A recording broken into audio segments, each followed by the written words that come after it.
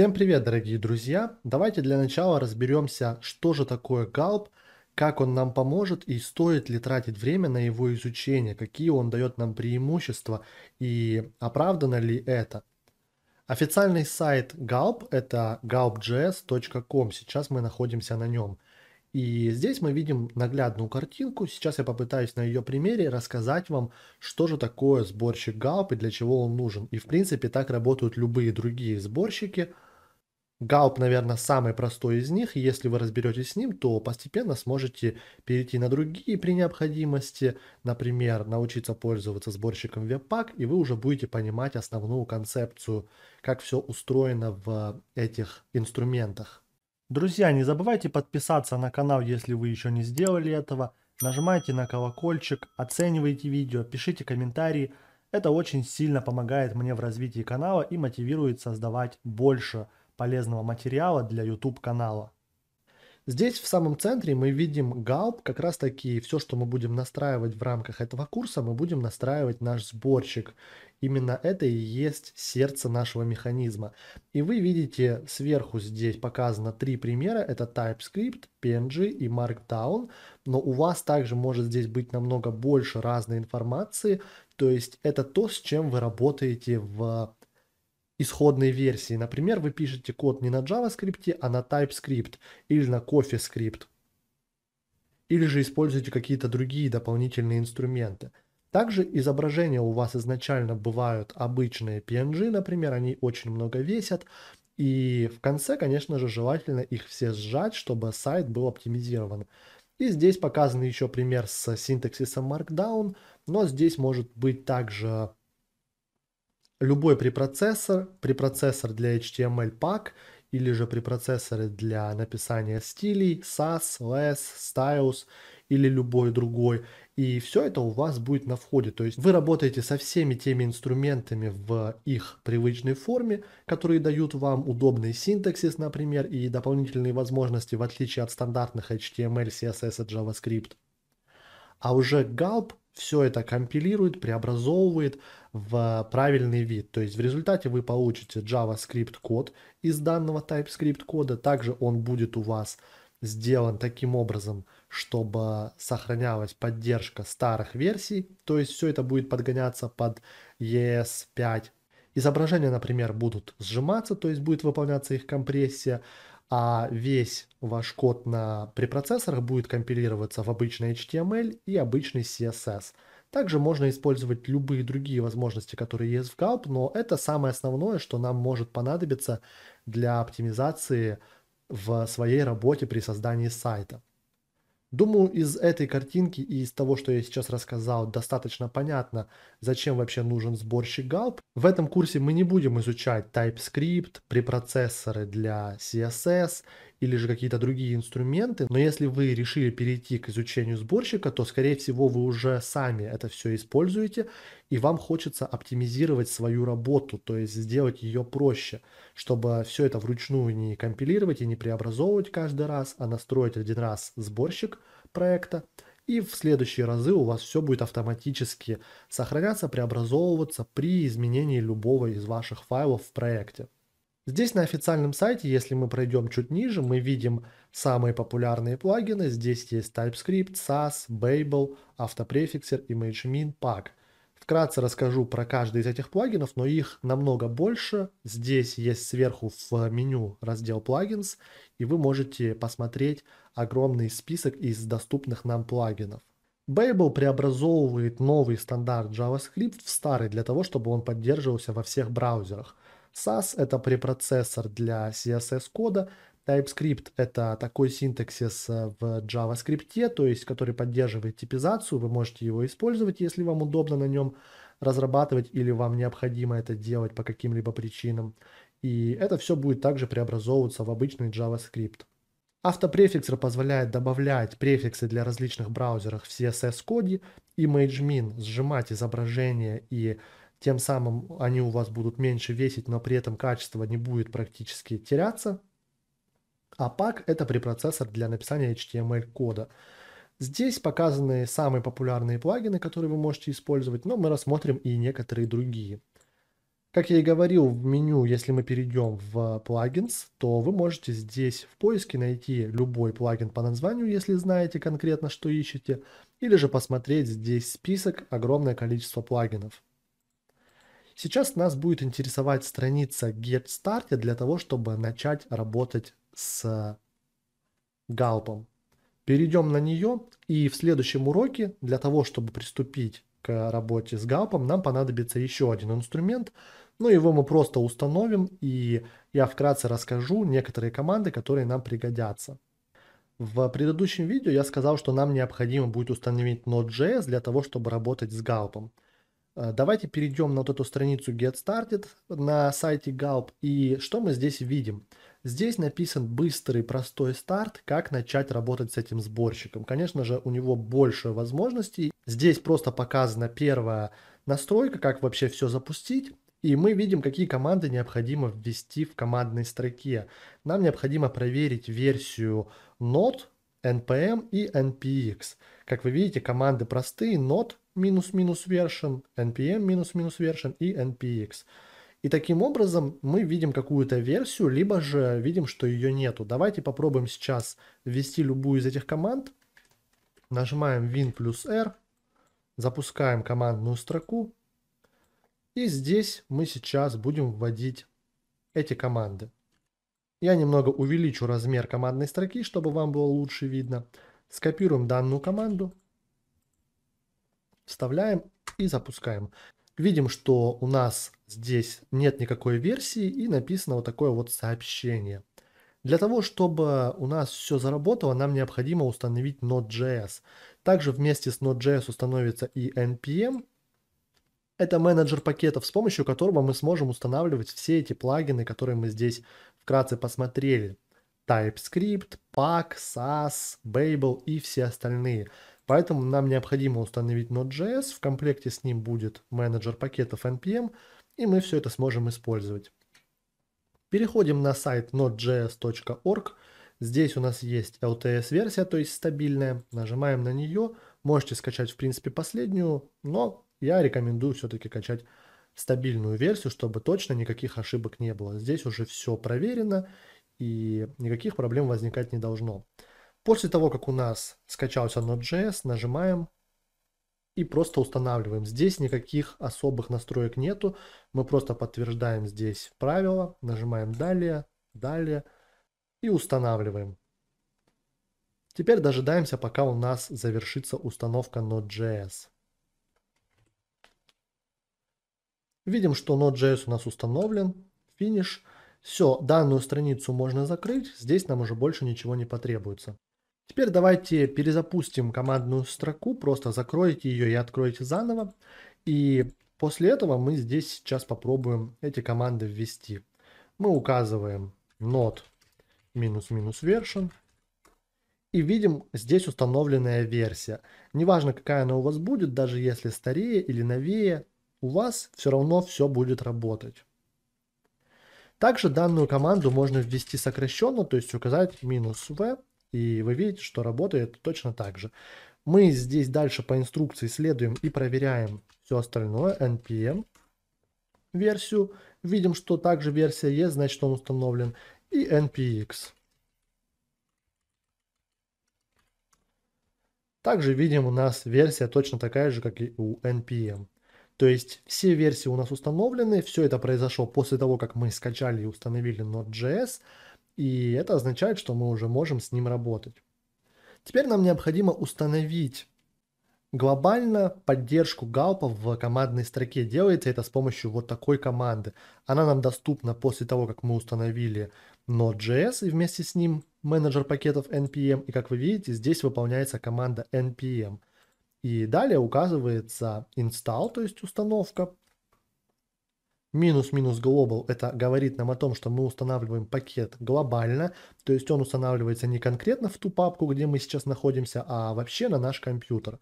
Поэтому мы вводим данную команду. Install можно сократить до одной буквы I или же полностью указать install, как здесь. Два дефиса global можно также сократить до минус G. И указываем название пакета, который мы будем устанавливать. gulp CLI.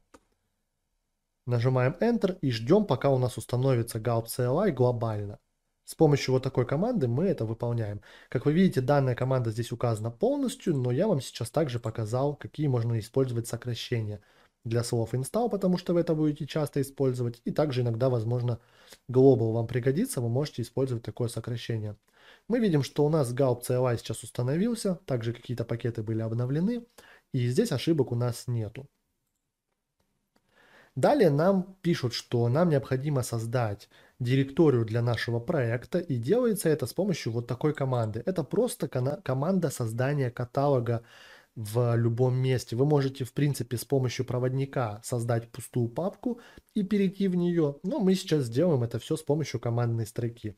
Сейчас я нахожусь в папке пользователя, чтобы посмотреть, какие здесь есть другие папки. Я использую команду dir. Если же вы используете PowerShell, например, то вы можете использовать команду ls, как на Linux и на Mac. В Windows же работает по умолчанию команда dir. Здесь мы видим разные папки и файлы. Меня интересует здесь папка Desktop. В принципе, я и так знал, что она существует в папке пользователя. Вот она здесь. И чтобы перейти в нее, я использую cd Desktop. И сейчас я нахожусь на рабочем столе в командной строке, то есть я могу выполнять какие-то команды, и все, что я буду выполнять, выполнится на рабочем столе. То есть создание папки произойдет именно на рабочем столе. Если вы хотите выйти назад, то указываете cd две точки, и вы выходите назад. Перейти в любой другой каталог, cd, его название. Можно, например, написать начало, нажать Tab, и у вас автоматически появится продолжение того каталога, который соответствует из этого списка. То есть то, что у вас есть здесь, оно подставится. И вот теперь мы уже находимся на рабочем столе. Вы же можете перейти в любую другую папку.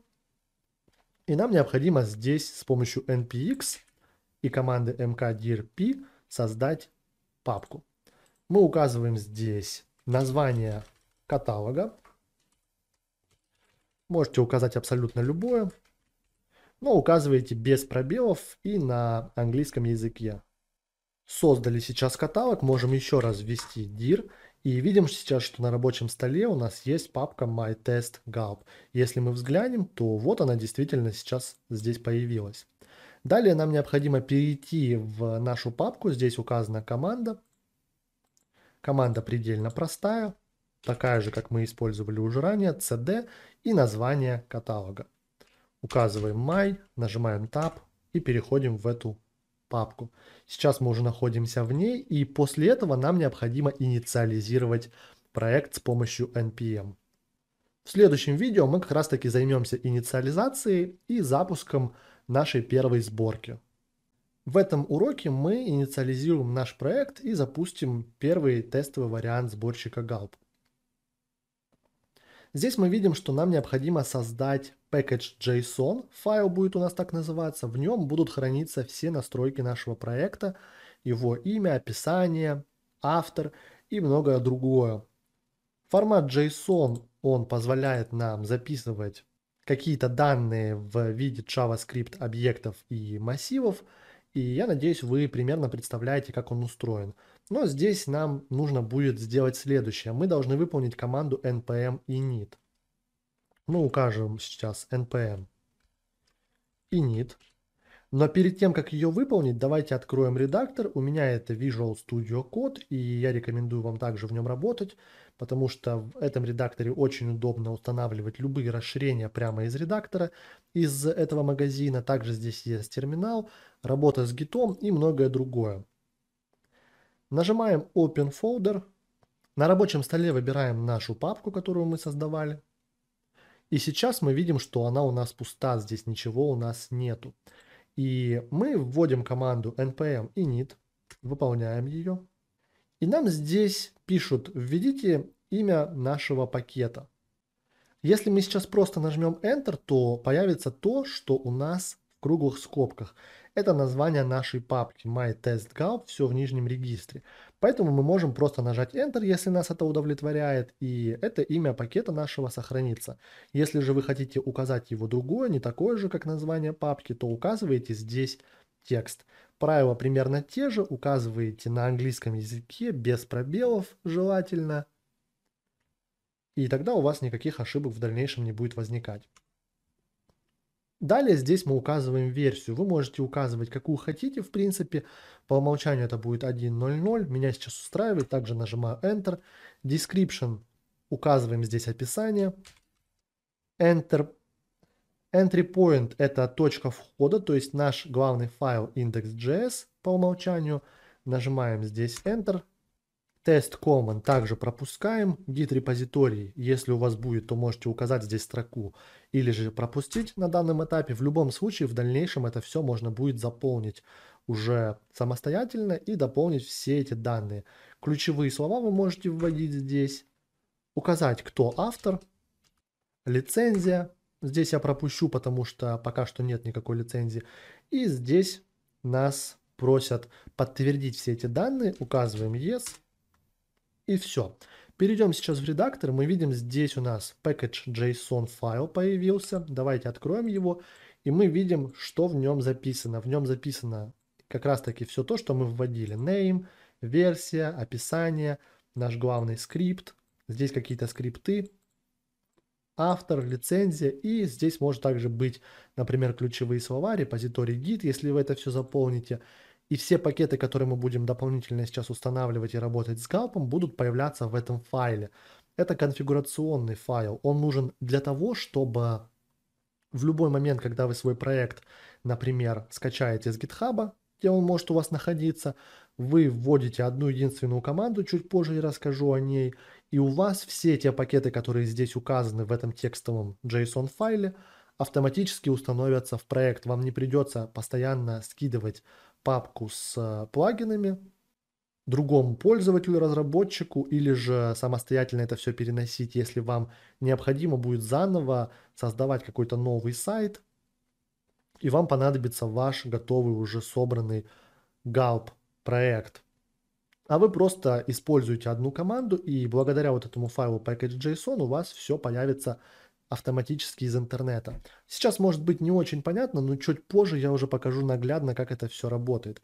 А сейчас давайте удалим данный файл. Я сейчас закрою командную строку и открою ее уже в редакторе. Делается это с помощью Ctrl тильда. И как вы видите, здесь также это все написано. Можно нажать терминал, New терминал, или же нажать сочетание клавиш.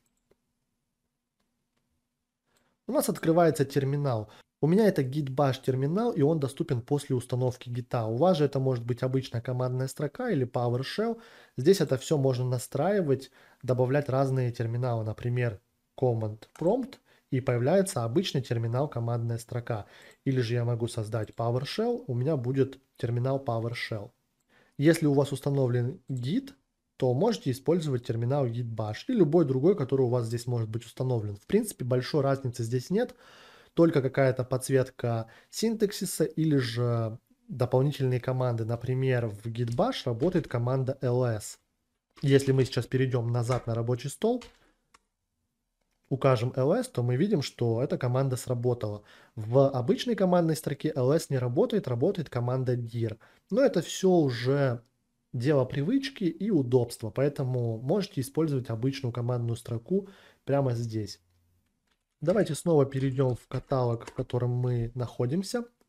По умолчанию, как вы заметили, путь появился здесь, до того каталога, в котором мы сейчас работаем. То есть мы открыли его в редакторе, и при открытии терминала у нас появляется путь до этого каталога. Это очень удобно, потому что мы все команды будем выполнять именно из этого каталога и устанавливать разные плагины.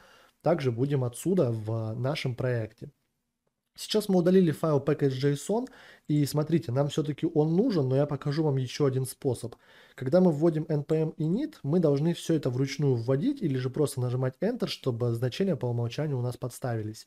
Но мы можем это сделать простым образом. Мы можем написать npm init минус y. И в таком случае у нас все автоматически пропускается, то есть подтверждаются все значения по умолчанию, и сразу же создается очень быстро файл package.json без вот этих лишних нажатий на Enter и подтверждения всего. И появляется вот такой вот файл. Здесь, как вы видите, даже есть ключевые слова, э, а в прошлый раз их не было. И здесь, как можно заметить, массив. То есть мы можем через запятую здесь передавать ключевые слова в виде строк.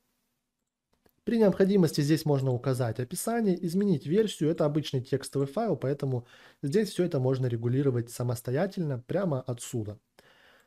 Но теперь, когда уже этот файл у нас создан, мы должны установить сам gulp. Как вы видите, у нас команда уже npm install использовалась для того, чтобы установить gulp CLI, но мы его устанавливали глобально, а сам gulp мы будем устанавливать локально в наш проект. И что немаловажно, мы будем его устанавливать в dev dependencies. Сейчас вы увидите, что же это такое. Давайте скопируем эту команду. Я нажимаю скопировать или же вот здесь кнопка копи. Открываю здесь терминал, нахожусь в данном каталоге, в котором мы работаем. И здесь можно нажать просто правую кнопку мыши и автоматически вставится последнее, что было в буфере обмена. npm install save dev gulp. Выполняем эту команду. И обратите внимание сейчас, как изменится файл package.json, что здесь появится после того, как команда у нас выполнится. У нас появился здесь раздел dev dependencies, и здесь у нас указан gulp, его версия, и как раз таки это говорит нам о том, что он установлен. Также вы видите, здесь появился каталог Node Modules. Если мы его откроем, здесь есть огромное количество разных модулей. Здесь также можно найти сам Gulp, вот он, и все зависимости, которые необходимы для его корректной работы. Также мы вводили эту команду, и я сейчас вам покажу сокращенный вариант. Вы уже знаете, что install можно заменить на i, а минус-минус save dev можно заменить на d заглавную, и у вас произойдет то же самое, только здесь указывается просто минус d, а не два дефиса, и это будет равносильно той команде, которую мы ввели вот здесь. Таким образом можно сделать то же самое. И gulp у нас после этой команды установится вот сюда в dev dependencies. Далее нам здесь предлагают ввести команду gulp version. Давайте скопируем ее. Вводим ее здесь. Указываем данную команду, выполняем ее.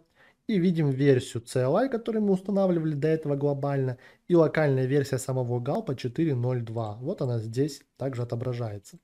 Эта команда также может быть сокращена gulp-v. Работает точно так же. В следующем уроке мы уже создадим gulp файл и начнем устанавливать различные модули, плагины и попытаемся сделать какой-то сборщик для того, чтобы оптимизировать свою работу. Следующее у нас по инструкции это создание gulp файла. Все, что мы будем писать для нашего сборщика, создается в файле gulpfile.js. Это JavaScript файл, и здесь работает все правила JavaScript, весь синтаксис, поэтому вам необходимо, конечно, хотя бы на базовом уровне понимать JavaScript. Все-таки Gulp это инструмент не первой необходимости, который нужно изучать сразу же, поэтому к изучению Gulp обычно приходят уже чуть позже, когда вы разрабатываете какой-то код и хотите упростить себе многие процессы, их оптимизировать, Поэтому вы здесь уже должны знать какие-то основы. Но сейчас я буду все подробно показывать и рассказывать. если вы на любом другом языке знаете основу программирования, то также, думаю, вам все будет понятно.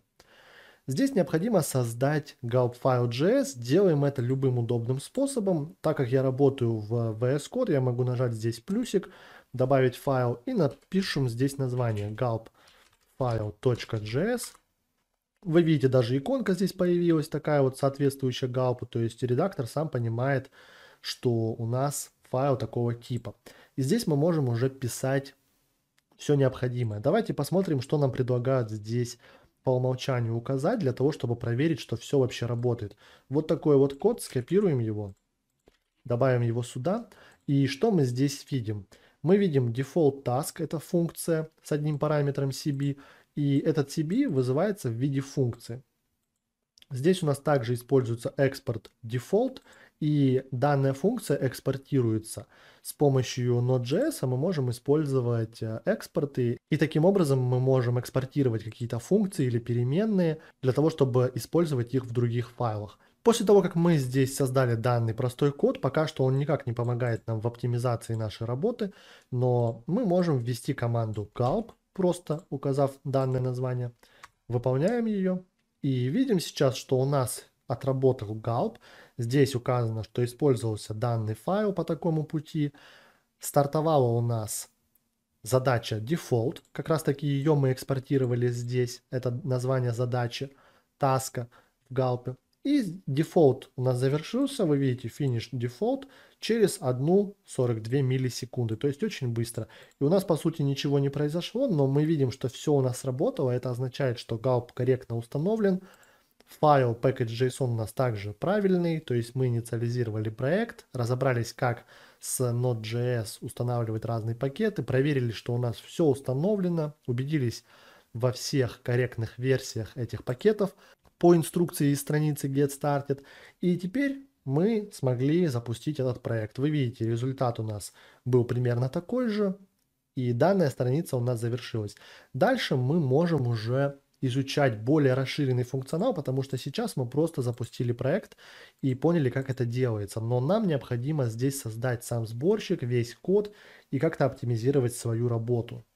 Есть сайт npmjs.com, Здесь вы можете найти любой интересующий вас модуль, который вы можете установить с помощью npm после того, как у нас уже эта команда доступна в терминале. Благодаря Node.js вы можете здесь находить любые модули и с помощью команды npm install устанавливать их. Давайте здесь сейчас найдем какой-нибудь модуль, например, модуль gulp мы можем здесь найти.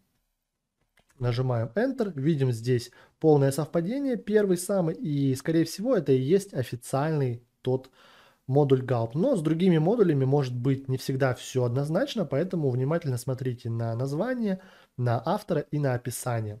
Переходим сейчас на Gulp, видим здесь описание, и вкратце, что вам здесь нужно на первых этапах понимать. Здесь вы можете увидеть репозиторий на GitHub, где можно подробную информацию почитать, но обычно она дублируется, та же самая, которая здесь. Установка этого модуля npm i gulp, но мы также устанавливали с помощью минус d заглавное, то есть вот сюда в зависимости dev dependencies. Если не указать минус d, как здесь в этом примере, то у нас gulp установится в обычные зависимости dependencies без вот этого слова dev.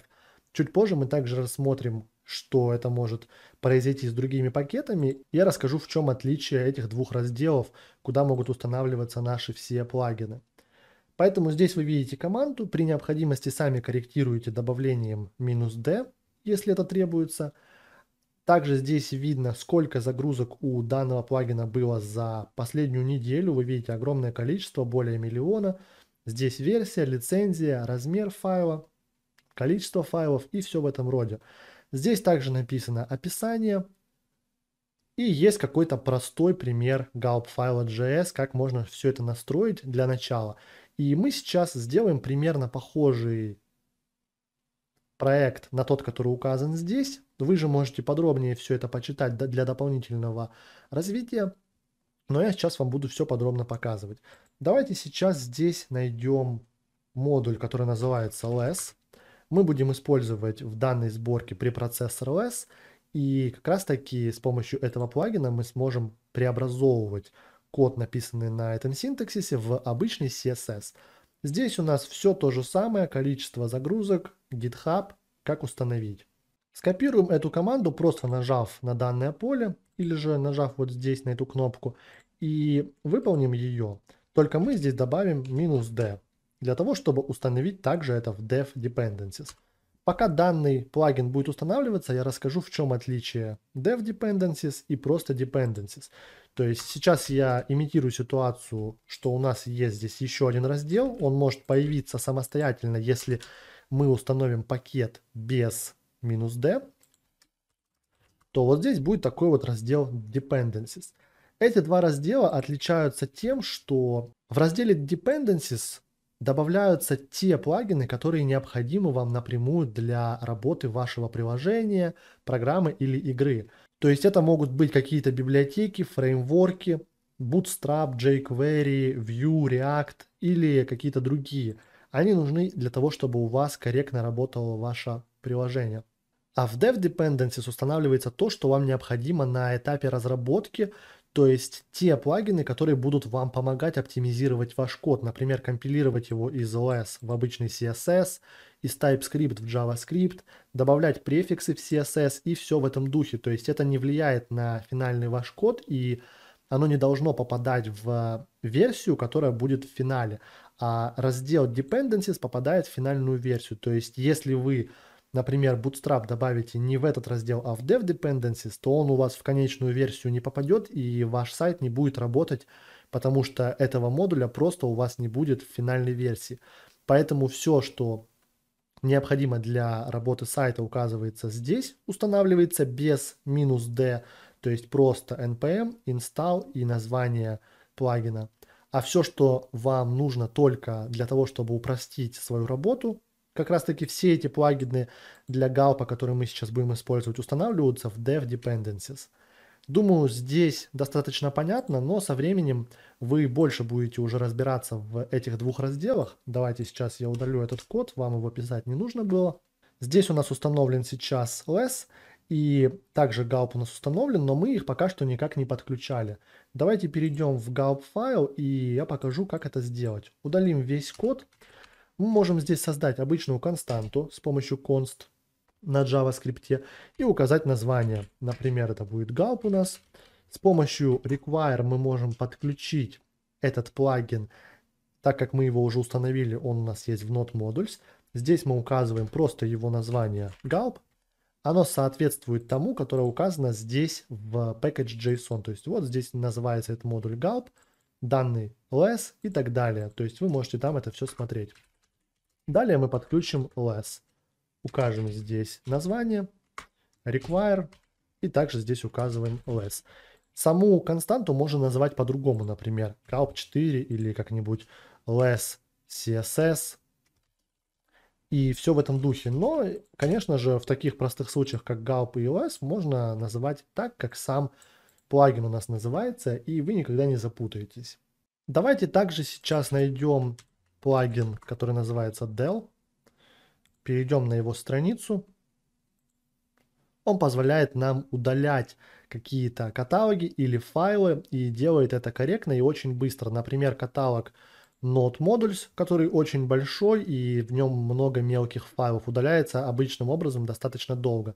А с помощью этого модуля Del это происходит быстро. И также мы сможем из кода удалять какие-то файлы вызовом обычного метода. Здесь указаны примеры с документации, как это все можно делать. Нас интересует именно его установка.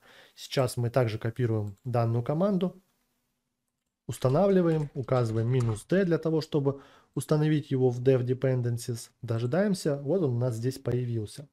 После этого мы его также сейчас здесь подключим. Название укажу del, require.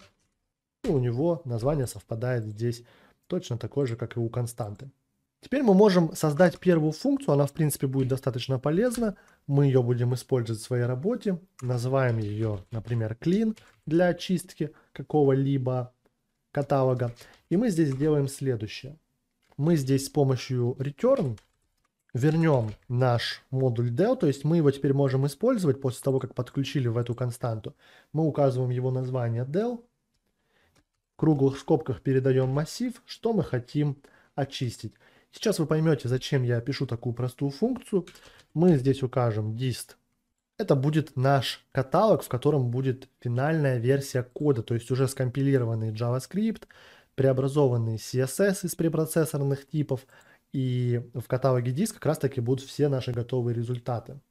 А в каталоге SRC мы будем вести разработку. Давайте создадим эти два каталога. Сейчас создадим каталог SRC и также создадим каталог dist. Для того, чтобы сейчас мы могли проверить нашу функцию, давайте сделаем так как у нас было в базовом примере, мы сделаем exports, укажем название clean. Здесь оно у меня совпадает с названием функции. И далее присваиваем здесь значение функции clean, то есть саму нашу функцию.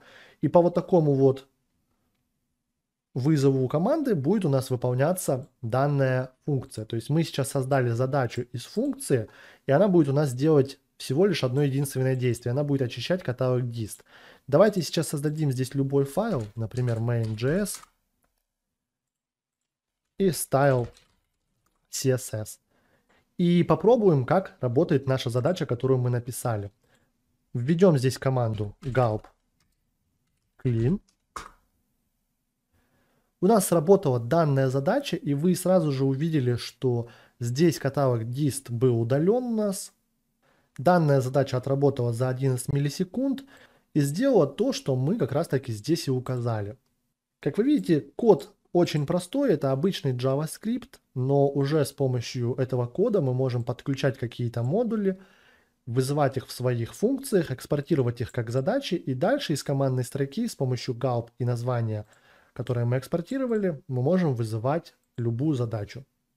Пока что это был очень простой пример, но постепенно в следующих уроках мы будем усложнять и добавлять сюда новые модули, подключим наш LESS, создадим здесь обработку файлов стилей, JavaScript и многого другого.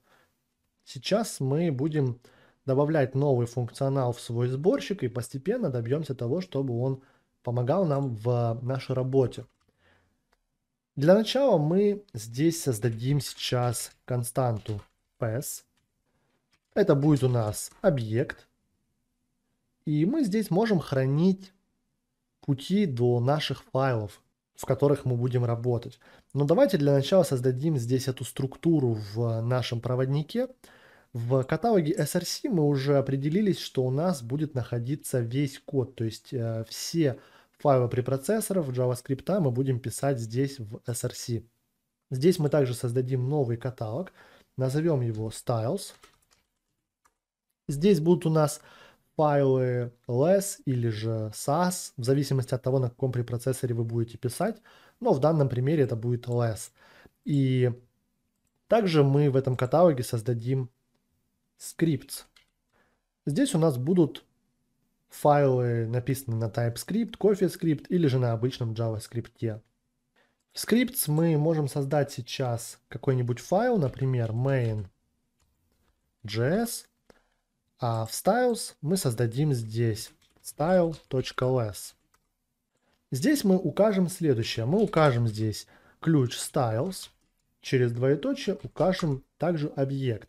И здесь будет еще два ключа src, то есть то, где мы ведем разработку, это данный каталог.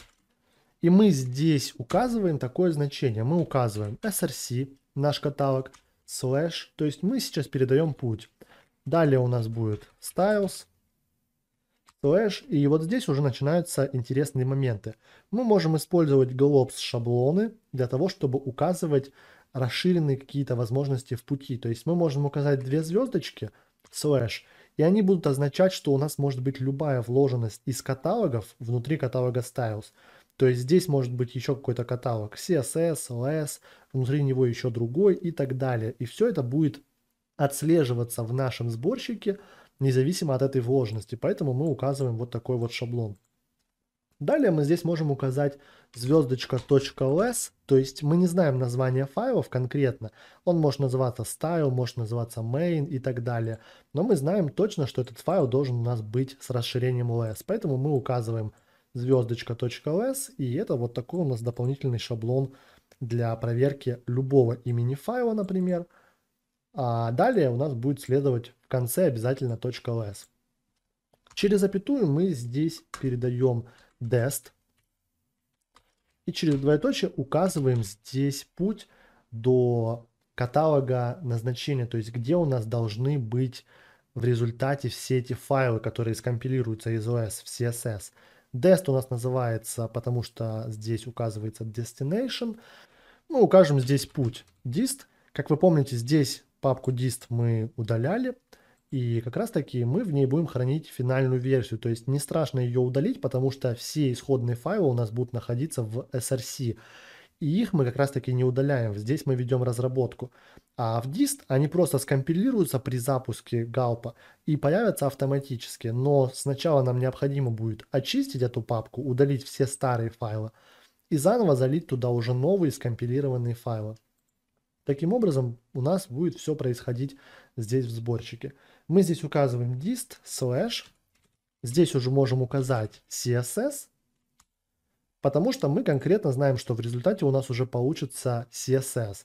И каталог у нас будет называться так. Через запятую мы здесь передадим scripts. И настроим то же самое для наших скриптов. Давайте скопируем. Здесь у нас будет src scripts такой же путь, но в конце у нас будет здесь JS.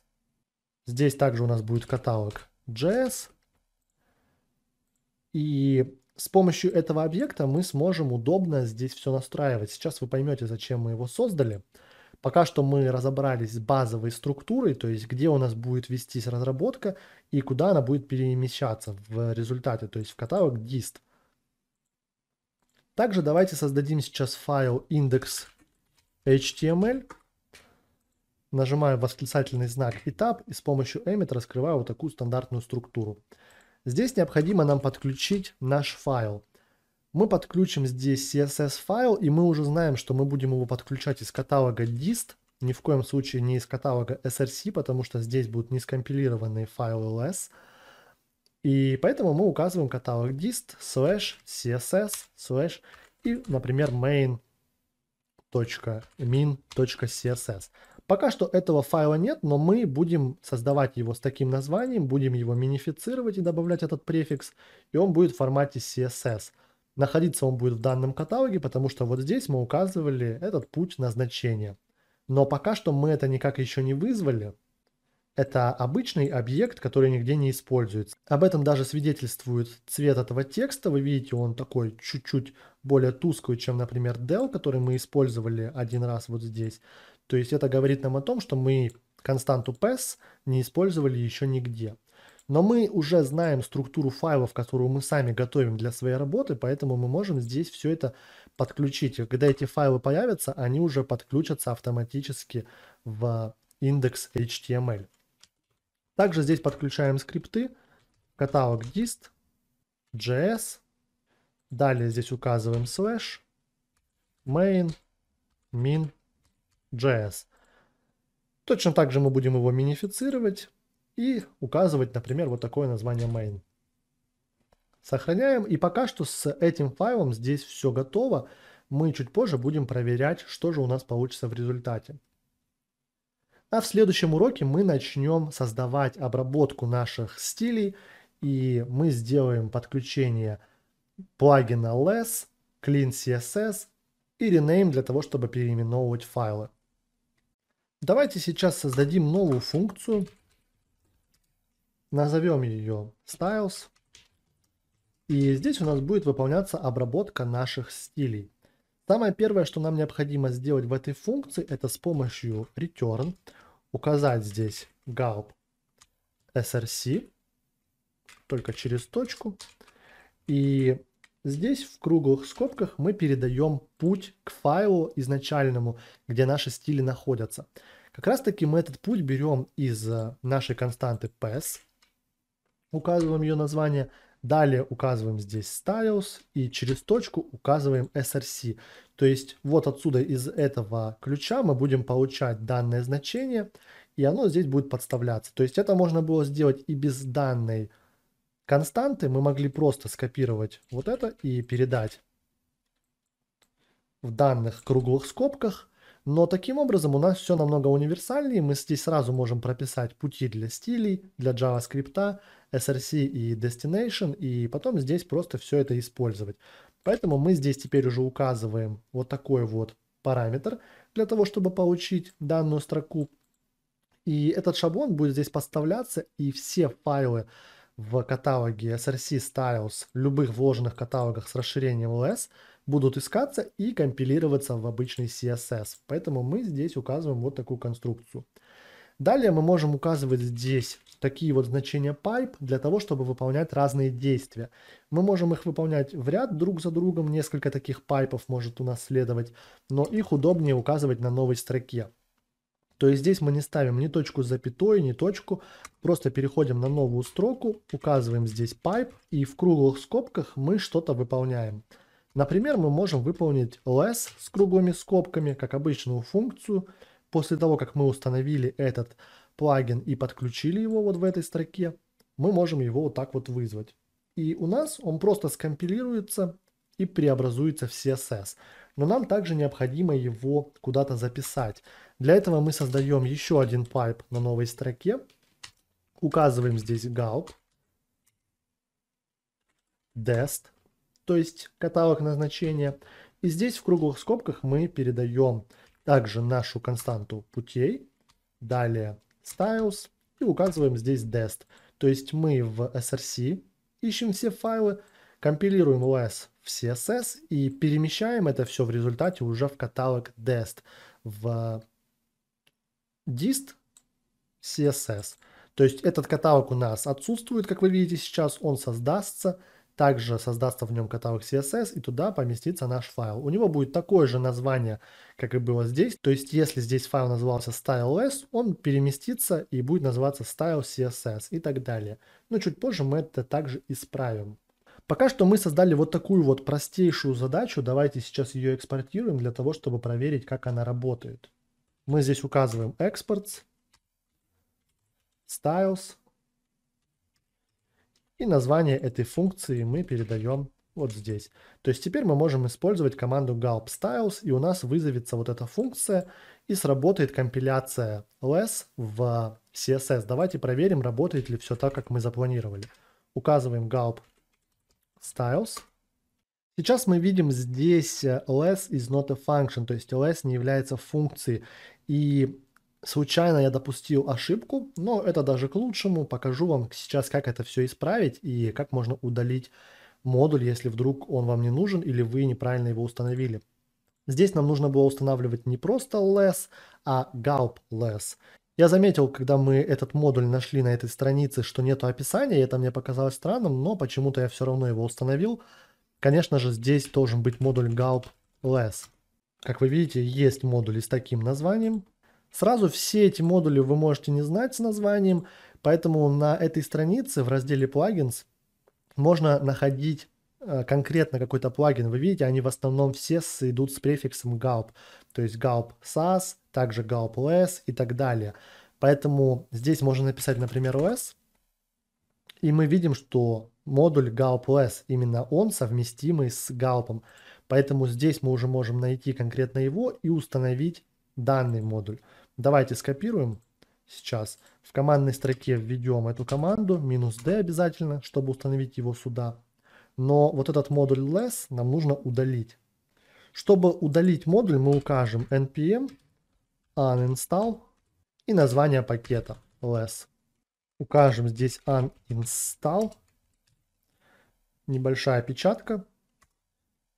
Выполняем команду, и вы видите, что у нас плагин удалился из этого раздела, также он удалился из Not Modules, и мы сейчас дополнительно посмотрели, как можно удалить, потому что иногда это бывает также нужно. И вы можете допустить какую-то ошибку, например, или просто захотеть удалить этот плагин. И сделать это можно с помощью команды npm uninstall и название пакета. Теперь уже у нас здесь подключен правильный пакет. Э, просто нужно скопировать его название и вот здесь указать вместо less gulp.ls, Здесь все остается то же самое, и можно как раз таки уже попробовать ввести styles. И сейчас все должно у нас работать. И вы видите, уже никаких ошибок нет, 23 миллисекунды. Создался каталог dist в том пути, где мы указывали, то есть вот здесь dist, внутри создался каталог CSS, также вы это видите здесь, и файл style CSS у нас здесь появился с таким же названием, как он и был less, Давайте напишем какой-нибудь код на этом препроцессоре. Сейчас очень просто. Сделаем, например, здесь color любого цвета. Также сделаем какую-то вложенность, которая работает у нас только на этом препроцессоре. В обычном CSS так делать нельзя. Мы укажем здесь background color, например.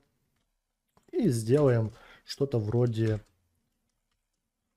hover эффекта. Укажем здесь text decoration none.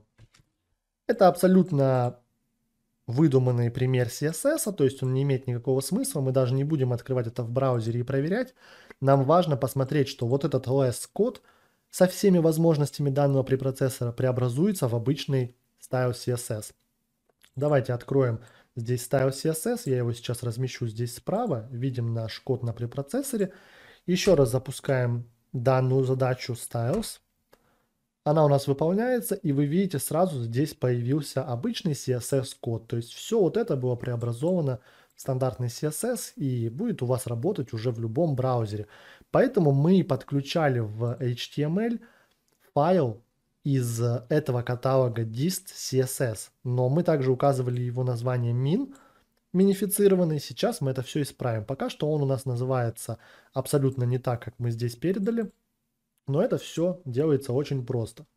Нам необходимо установить сейчас еще два плагина. Первый у нас называется Gulp Clean CSS. Вот его страница. Устанавливается он привычным нам образом. Если вы знаете его название, точно как оно пишется здесь, то вы можете сразу же, даже не переходя на этэту страницу, ввести npm, i, его название, и у вас установится данный плагин. Добавляем минус d, чтобы установить в dev dependencies. Вот он у нас появился здесь. И установим еще один плагин, он называется gulp rename, для того, чтобы переименовывать файлы. Он позволяет нам не просто переименовать, а добавить еще какие-то префиксы, суффиксы у названия файла, и с помощью него мы можем как раз-таки добавлять .min в конце файла, и все в таком духе. Копируем эту команду, выполняем, опять-таки минус d не забываем здесь добавить, и вот у нас здесь сейчас имеются вот такие вот плагины. Переходим в gulp файл, создаем новую константу, назовем rename, с помощью require, как вы уже знаете, мы подключаем этот плагин. Можно скопировать его название здесь, gulp rename, и указать в кавычках. Также мы подключаем здесь CSS Clean. Укажем, например, название Clean CSS. Здесь, как вы видите, название мы указали не так же, как в случае с Deo, где оно совпадает, а другое. И мы здесь указываем также require и название берем вот отсюда. Такое вот название длинное через дефисы из трех слов. И подключаем этот плагин. Они сейчас не используются, вы видите такой более тусклый зеленый цвет. Мы их должны использовать вот здесь в нашей функции. То есть после того, как мы скомпилировали наш less код, мы можем использовать еще один pipe здесь и вызвать clean CSS. Нашу константу, но мы вызываем ее уже с круглыми скобками, так же как для less. И данный плагин сработает у нас и выполнит минификацию кода. То есть э, удалит все пробелы, ненужные точки запятой в конце строк, все абзацы и приведет код в оптимизированный вид. Теперь создадим еще один pipe. Укажем здесь rename круглых скобках мы можем передать объект с настройками. Вообще у большинства из этих плагинов также можно в круглых скобках что-то передавать. Все это можно изучать подробно вот здесь на страницах с этими плагинами, смотреть какие-то примеры из э, готовых примеров документацию. И после этого вы уже сможете использовать более расширенный функционал. Но пока мы используем такие достаточно базовые вещи. Здесь мы укажем base name, есть вот такой вот параметр в этом объекте, и указывается название, то есть мы передадим main, так как мы здесь решили, что файл будет называться у нас main css. И также необходимо передать min. Для этого мы через запятую здесь передаем суффикс. Также можно передать префикс. Префикс будет у нас спереди, перед названием main, а суффикс будет после названия main. Поэтому мы здесь указываем суффикс, .min, и у нас добавится main, после этого суффикс .min, и уже сам файл будет у нас в формате CSS, и он вот здесь появится. На данном этапе эта задача styles у нас сейчас полностью написана, и пока что все, что мы хотели реализовать в работе со стилями, у нас готово. Давайте проверим, выполнил gulp styles. Видим сейчас, что у нас здесь style CSS также остался, но появился файл main min CSS. Вот он файл, минифицированный, преобразованный из less в обычный CSS, переименованный в соответствии с тем, что мы указали, и помещенный в нужный каталог. Сразу же из HTML подгружается у нас именно уже этот файл, но нам необходимо будет сделать, чтобы все предыдущие файлы у нас удалялись. Этим мы займемся в следующий раз и посмотрим, как работать с JavaScript. Всем привет, дорогие друзья! В этом уроке мы разберемся с тем, как очищать наш каталог диск. Как раз таки мы будем вот эту задачу выполнять. И уже после этого будет выполняться наши стили, обрабатываться. Таким образом у нас не будет создаваться одни и те же файлы, если вдруг вы что-то изменили или здесь переименовали. И как раз таки нам эта функция и нужна для того, чтобы сначала каталог dist удалить, а уже потом выполнить обработку стилей, скриптов, изображений и всего остального и поместить их в каталог dist. Поэтому сейчас мы здесь сделаем следующее. Для начала, перед тем, как поработать с JavaScript, мы сейчас создадим другую функцию, назовем ее watch, для того, чтобы отслеживать какие-то наши изменения. И мы сделаем здесь следующий код. gulp watch в круглых скобках мы укажем здесь следующее. Что мы хотим отслеживать? Здесь необходимо указать путь файлы, которые мы будем отслеживать. То есть мы будем отслеживать файлы в каталоге styles, поэтому мы указываем этот путь. Можем скопировать его вот здесь. И когда любой файл в этом каталоге будет у нас изменен, то есть мы просто здесь начнем писать код, у нас будет что-то выполняться, потому что Gulp Watch будет отслеживать изменения по этому пути. Здесь через запятую мы можем указать task, который должен выполниться в случае изменения файлов в этом каталоге. Мы указываем здесь styles. То есть если стили были изменены здесь, добавлен новый файл или вот этот существующий уже просто был как-то изменен, здесь что-то написано, то у нас будет выполняться эта задача styles автоматически, и у нас после этого просто все само перекомпилируется и добавится в этот каталог. Сохраним сейчас. Здесь мы экспортируем задачу watch и укажем здесь название этой функции. Давайте сейчас вызовем gulp watch. Видим, что сейчас у нас уже командная строка не завершилась. Здесь стоит такая вот линия, в отличие от предыдущих случаев. И это означает, что у нас запущен watcher, он отслеживает какие-то изменения. Как раз таки там, где мы указали, он следит за изменениями файлов и будет вызывать эту задачу каждый раз, если что-то изменится.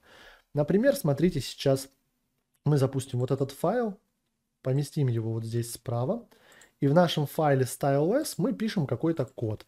Добавляем здесь, например, тег A, указываем ему text decoration non, color какой-нибудь, и все, что нам только пожелается. Сейчас я нажму Ctrl-S, то есть сохранить этот файл, и обратите внимание вот сюда. Вы видите, что у нас автоматически выполнилась эта задача. Также здесь в терминале указано, то есть стартовала задача styles, сработала она за 40 миллисекунд. Это произошло потому, что наш watcher был запущен, и он отслеживал изменения в каталоге с нашими стилями. Как только он это заметил, он вызвал задачу styles, Здесь у нас что-то изменилось, он это все перекомпилировал и быстро сразу же перенес вот сюда, то есть сохранил здесь файл main min минифицировал и сделал, в общем-то, все задачи, которые мы вот здесь указывали. И это все произошло автоматически. Вам нужно просто писать код, нажимать Ctrl-S для того, чтобы сохранить ваш файл, а здесь уже на выходе вы получаете готовый код со всеми этими минификациями, в обычном CSS. При необходимости здесь также можно подключить автопрефиксы, добавить карту source map и многое другое. Но это будет уже чуть позже. Мы также рассмотрим, как здесь можно дополнительно улучшить все это. Но пока что мы будем смотреть более простой пример, пока мы не завершим с этой простой тестовой сборкой, для того, чтобы вы вообще разобрались, как здесь все устроено и какие преимущества действительно дает нам Gulp. Думаю, сейчас уже на этом этапе вам заметно, что они действительно у нас есть, и с каждым уроком их будет все больше и больше. Для того, чтобы завершить вот эту задачу Watch, мы переходим в терминал, нажимаем Ctrl-C, и у нас завершилась эта задача. Как вы видите, теперь мы можем снова вводить команды. Давайте создадим здесь сейчас одну константу, назовем ее build, и в нее поместим следующий код. Gulp Series. Есть две такие функции, Series и Parallel, для того, чтобы выполнять любое количество вот этих задач, тасков, которые мы создавали в виде Styles, Watch, Clean и другие, которые мы будем создавать в разных режимах. Series позволяет выполнять их последовательно. То есть, если мы здесь через запятую передадим задачи clean, а потом styles, у нас выполнится сначала clean, потом styles. Если мы укажем здесь gulp parallel, то они будут выполняться параллельно. В некоторых случаях, например, при обработке стилей и JavaScript файлов, можно их выполнять параллельно, потому что они друг от друга никак не зависят, и если можно эту задачу разделить, то почему бы не сделать это? Это произойдет быстрее, у вас отдельно скомпилируются JavaScript файлы и обработаются, и отдельно CSS. И все это распараллелится с помощью вот такого метода. Но сейчас мы здесь укажем series. Нам здесь необходимо сделать следующее. Мы здесь выполняем clean, то есть очищаем наш каталог с помощью этой задачи. Далее мы указываем здесь styles, то есть нам обязательно нужно будет в первый раз выполнить обработку наших стилей. И после этого мы дополнительно запустим здесь наш watcher, укажем здесь задачу watch, и он будет у нас уже висеть в терминале и постоянно отслеживать какие-то дальнейшие изменения, которые мы здесь ему прописали. Таким вот образом мы сделали еще одну задачу, она уже более сложная, она объединяет в себе три другие, выполняет их последовательно, как вы видите, и мы можем ее также экспортировать. Мы здесь делаем экспорт build и указываем название этой константы build. Мы могли, в принципе, сразу вот здесь через равно записать вот это значение, но можно сделать и вот так, чтобы было более наглядно. И также давайте сделаем export default как мы делали в самом нашем первом примере с обычной пустой функцией, здесь также укажем build. У вас в дефолт не обязательно будет выполняться build, но в данном случае они совпали, то есть дефолт срабатывает, когда вы пишете просто команду gulp, то есть мы сейчас напишем вот так вот gulp, и у нас сработает эта задача default, то есть задача build, которую мы только что написали. Или же вы можете написать здесь gulp build. И в данном случае сработает то же самое. Но согласитесь, что задача по умолчанию вызывается намного проще. Пишите gulp, сразу же одним словом просто выполняете э, все, что здесь указано. А именно как раз таки задачу clean, styles и watch. И вы видите, что все у нас сработало. В этот раз уже каталог dist был удален изначально благодаря вот этой задаче clean. Потому что вы видите, что файл здесь, который у нас впервые создался, сейчас уже его нету. После этого стили скомпилировались в первый раз, а дальше запустился Watcher, и вот он сейчас здесь висит, находится в режиме ожидания и отслеживает любое изменение вот в этих файлах. То есть если мы здесь что-то изменим, то автоматически он запустит эту задачу styles, быстренько все это преобразует, скомпилирует и поместит вот сюда уже готовый результат. То есть мы получили все то, что желали. В следующем уроке мы настроим JavaScript и завершим нашу первую тестовую сборку, но это далеко не конец этого курса, потому что мы будем усложнять то, что мы изучили сейчас, рассмотрим дополнительные возможности, плагины и улучшим нашу сборку, сделаем ее намного круче, с большим количеством возможностей. Всем привет, дорогие друзья! Давайте сейчас завершим нашу работу и поработаем с JavaScript файлами. Создадим также функцию Назовем ее scripts. Я вам рекомендую дополнительно писать здесь хотя бы минимальные комментарии. То есть вы можете написать, например, задача для обработки скриптов.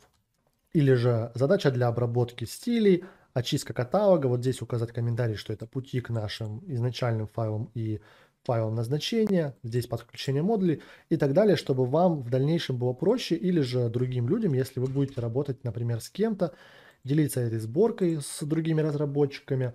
Поэтому обязательно здесь комментируйте как минимум для себя.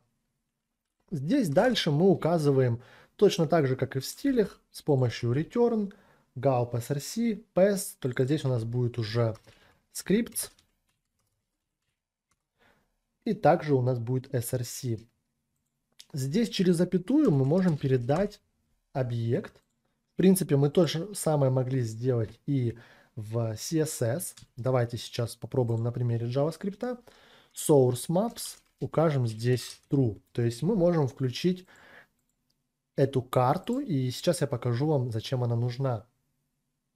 Давайте создадим здесь какой-нибудь первый наш pipe, и пусть это, например, будет Babel.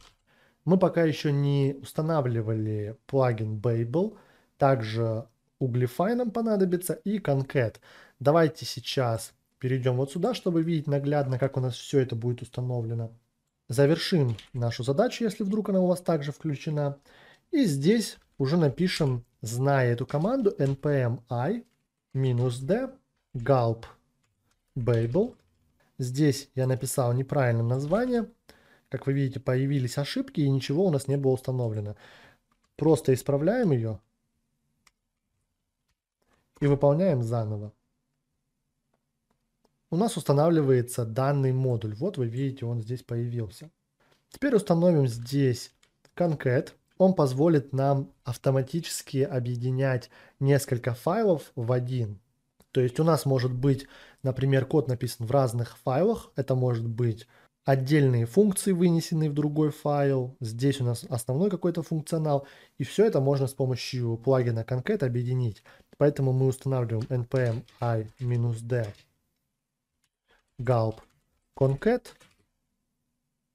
Я уже не показываю все эти плагины на этой странице npm.js, но вы можете их найти, и я рекомендую вам это сделать, чтобы подробнее рассмотреть, что же можно сделать дополнительно с этой библиотекой, какие она возможности дает, посмотреть примеры кода. Но здесь уже я вам показываю конкретно, что мы устанавливаем те или иные плагины.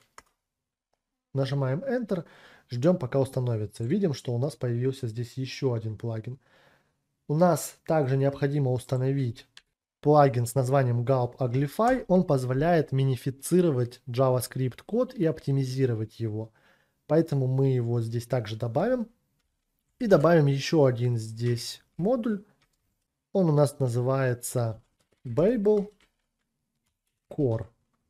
То есть ядро Babel. Его также необходимо установить таким вот образом, чтобы наш Babel работал и корректно переводил JavaScript из новых стандартов в более ранние, для того, чтобы весь ваш код, который вы пишете, поддерживался в старых браузерах. Поэтому мы установили Babel Core и Gulp Babel. Вот теперь у нас уже финальный список этих плагинов. Нам необходимо здесь подключить все, что мы сейчас здесь добавили. Подключаем здесь Babel, указываем в require здесь gulp babel. Далее мы подключаем uglify, указываем gulp uglify, gulp concat мы подключим. Babel core мы не подключаем, он нужен для самого Babel, поэтому здесь вот такими вот тремя модулями мы в принципе все, что необходимо для JavaScript сейчас подключили.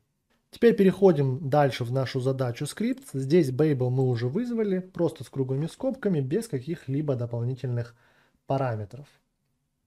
Далее точно таким же образом мы вызовем Uglify. Он сработает после Babel, все минифицирует, сожмет и наш код будет более оптимизированный. Здесь вызовем следующим пайпом нашим concat. В круглых скобках мы укажем название main.min .js. Как вы видите, здесь, в принципе, rename не обязательно использовать. Можно с помощью concat объединить несколько файлов в один и сразу же дать им корректное название вот здесь в результате. В принципе, такую же возможность можно было подключить и здесь, в CSS. Мы могли объединять все файлы less в один и после этого их переименовать в какое-то другое название. Но здесь на двух разных примерах вы видите, какие вообще есть возможности. После того, как мы выполнили три вот этих действия с нашим JavaScript, давайте сделаем последний наш пайп, укажем, куда это все будет у нас записываться. Это будет записываться в наш путь scripts dest из этой константы. И, в принципе, данная задача у нас готова. Но чтобы ее проверить, нам необходимо ее также экспортировать вот здесь. С помощью Alt я устанавливаю несколько курсоров в VS Code и могу написать здесь одновременно в двух местах скрипт. Таким вот образом я экспортировал эту задачу. Также давайте в наш watcher добавим отслеживание скриптов. Здесь мы будем отслеживать путь scripts src.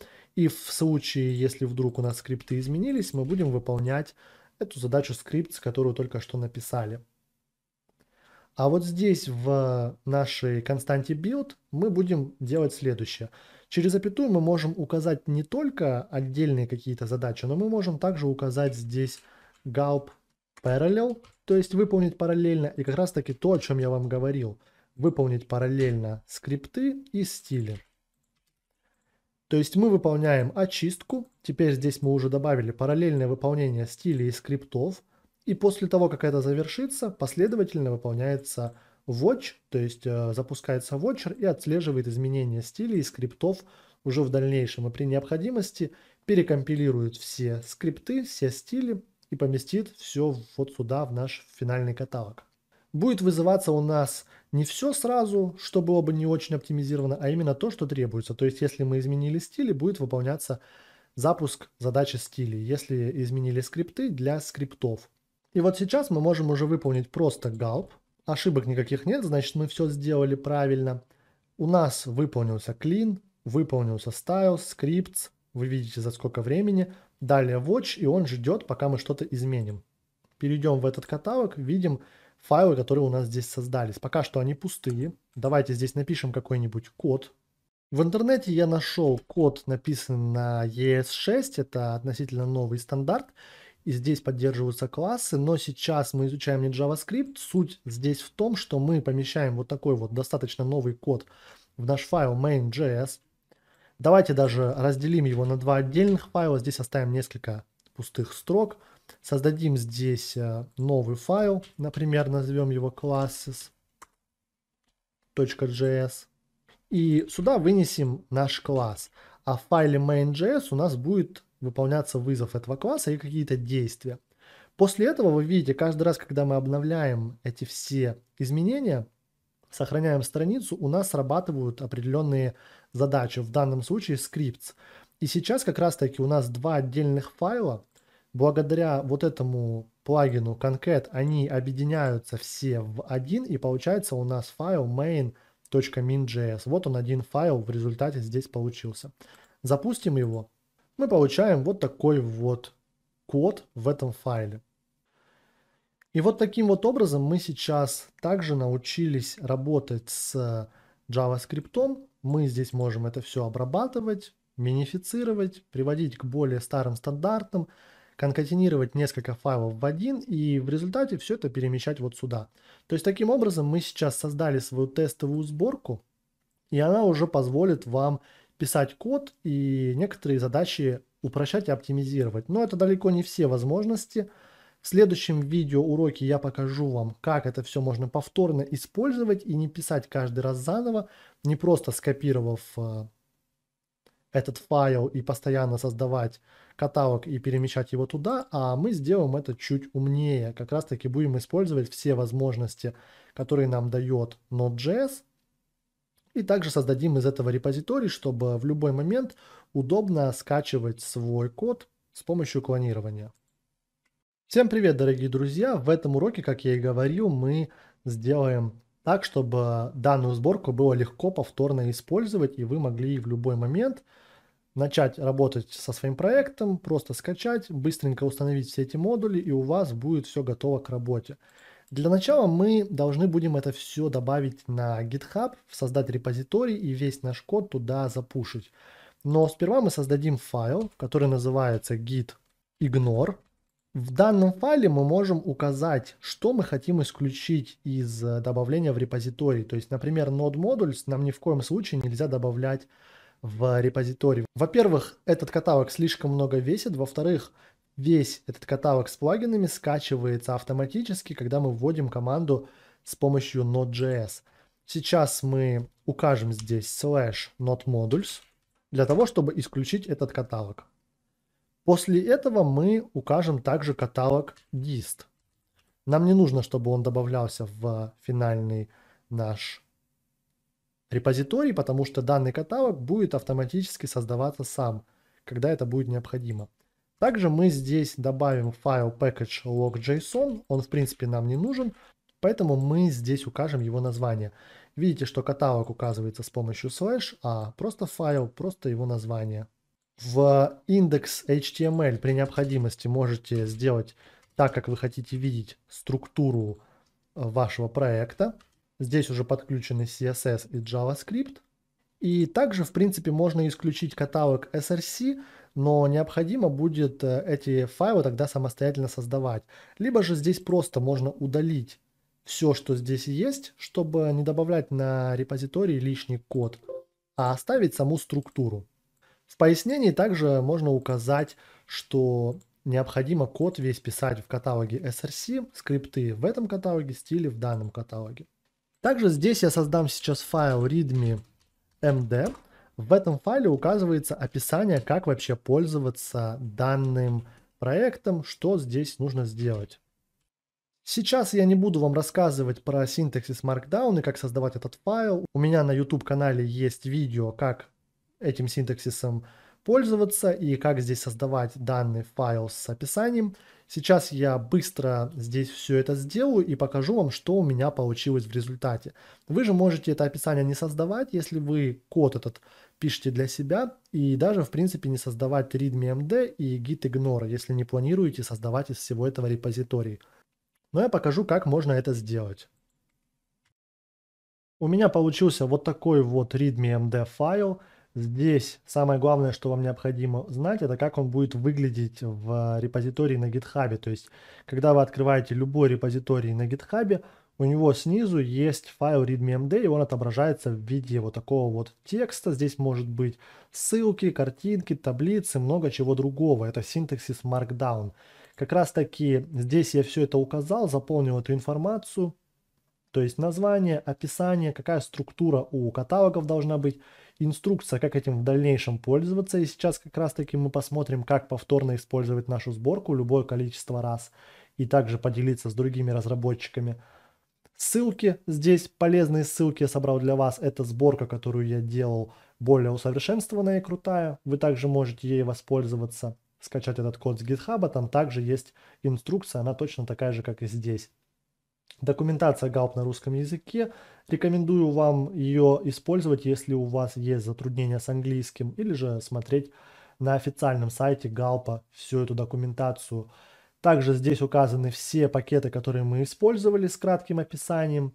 Вот здесь, как вы видите, Galp Babel я забыл указать. Сейчас быстренько дополним здесь этот текст. Дописали здесь описание. И какая-то дополнительная информация, мои контакты, можете также это все посмотреть. После того, как вы подготовили этот файл, нам необходимо все это загрузить на репозиторий. То есть мы уже указали gitignore, чтобы что-то исключить. А, для начала мы перейдем на вкладку Source Control в этом редакторе Visual Studio Code. Нажмем «Инициализировать репозиторий». У вас должен быть уже установлен гид для этого. Курс у меня есть по гиту отдельно, поэтому если вы сейчас не понимаете, что происходит, это не страшно. А, данный урок является необязательным, то есть э, запушивать на GitHub весь ваш код не обязательно. Только если вы хотите сделать э, это все более удобным для себя или же поделиться с другими разработчиками своим кодом. Так как я сейчас добавлю этот код в репозиторий, я оставлю вам ссылку, вы сможете пользоваться данным кодом, скачивая его из моего репозитория. И вам нет абсолютно никакого смысла создавать репозиторий с точно тем же самым кодом. Поэтому можете просто понаблюдать за этими действиями и понять, зачем вообще я их выполняю и как воспользоваться нашей сборкой после того, как она будет уже на GitHub.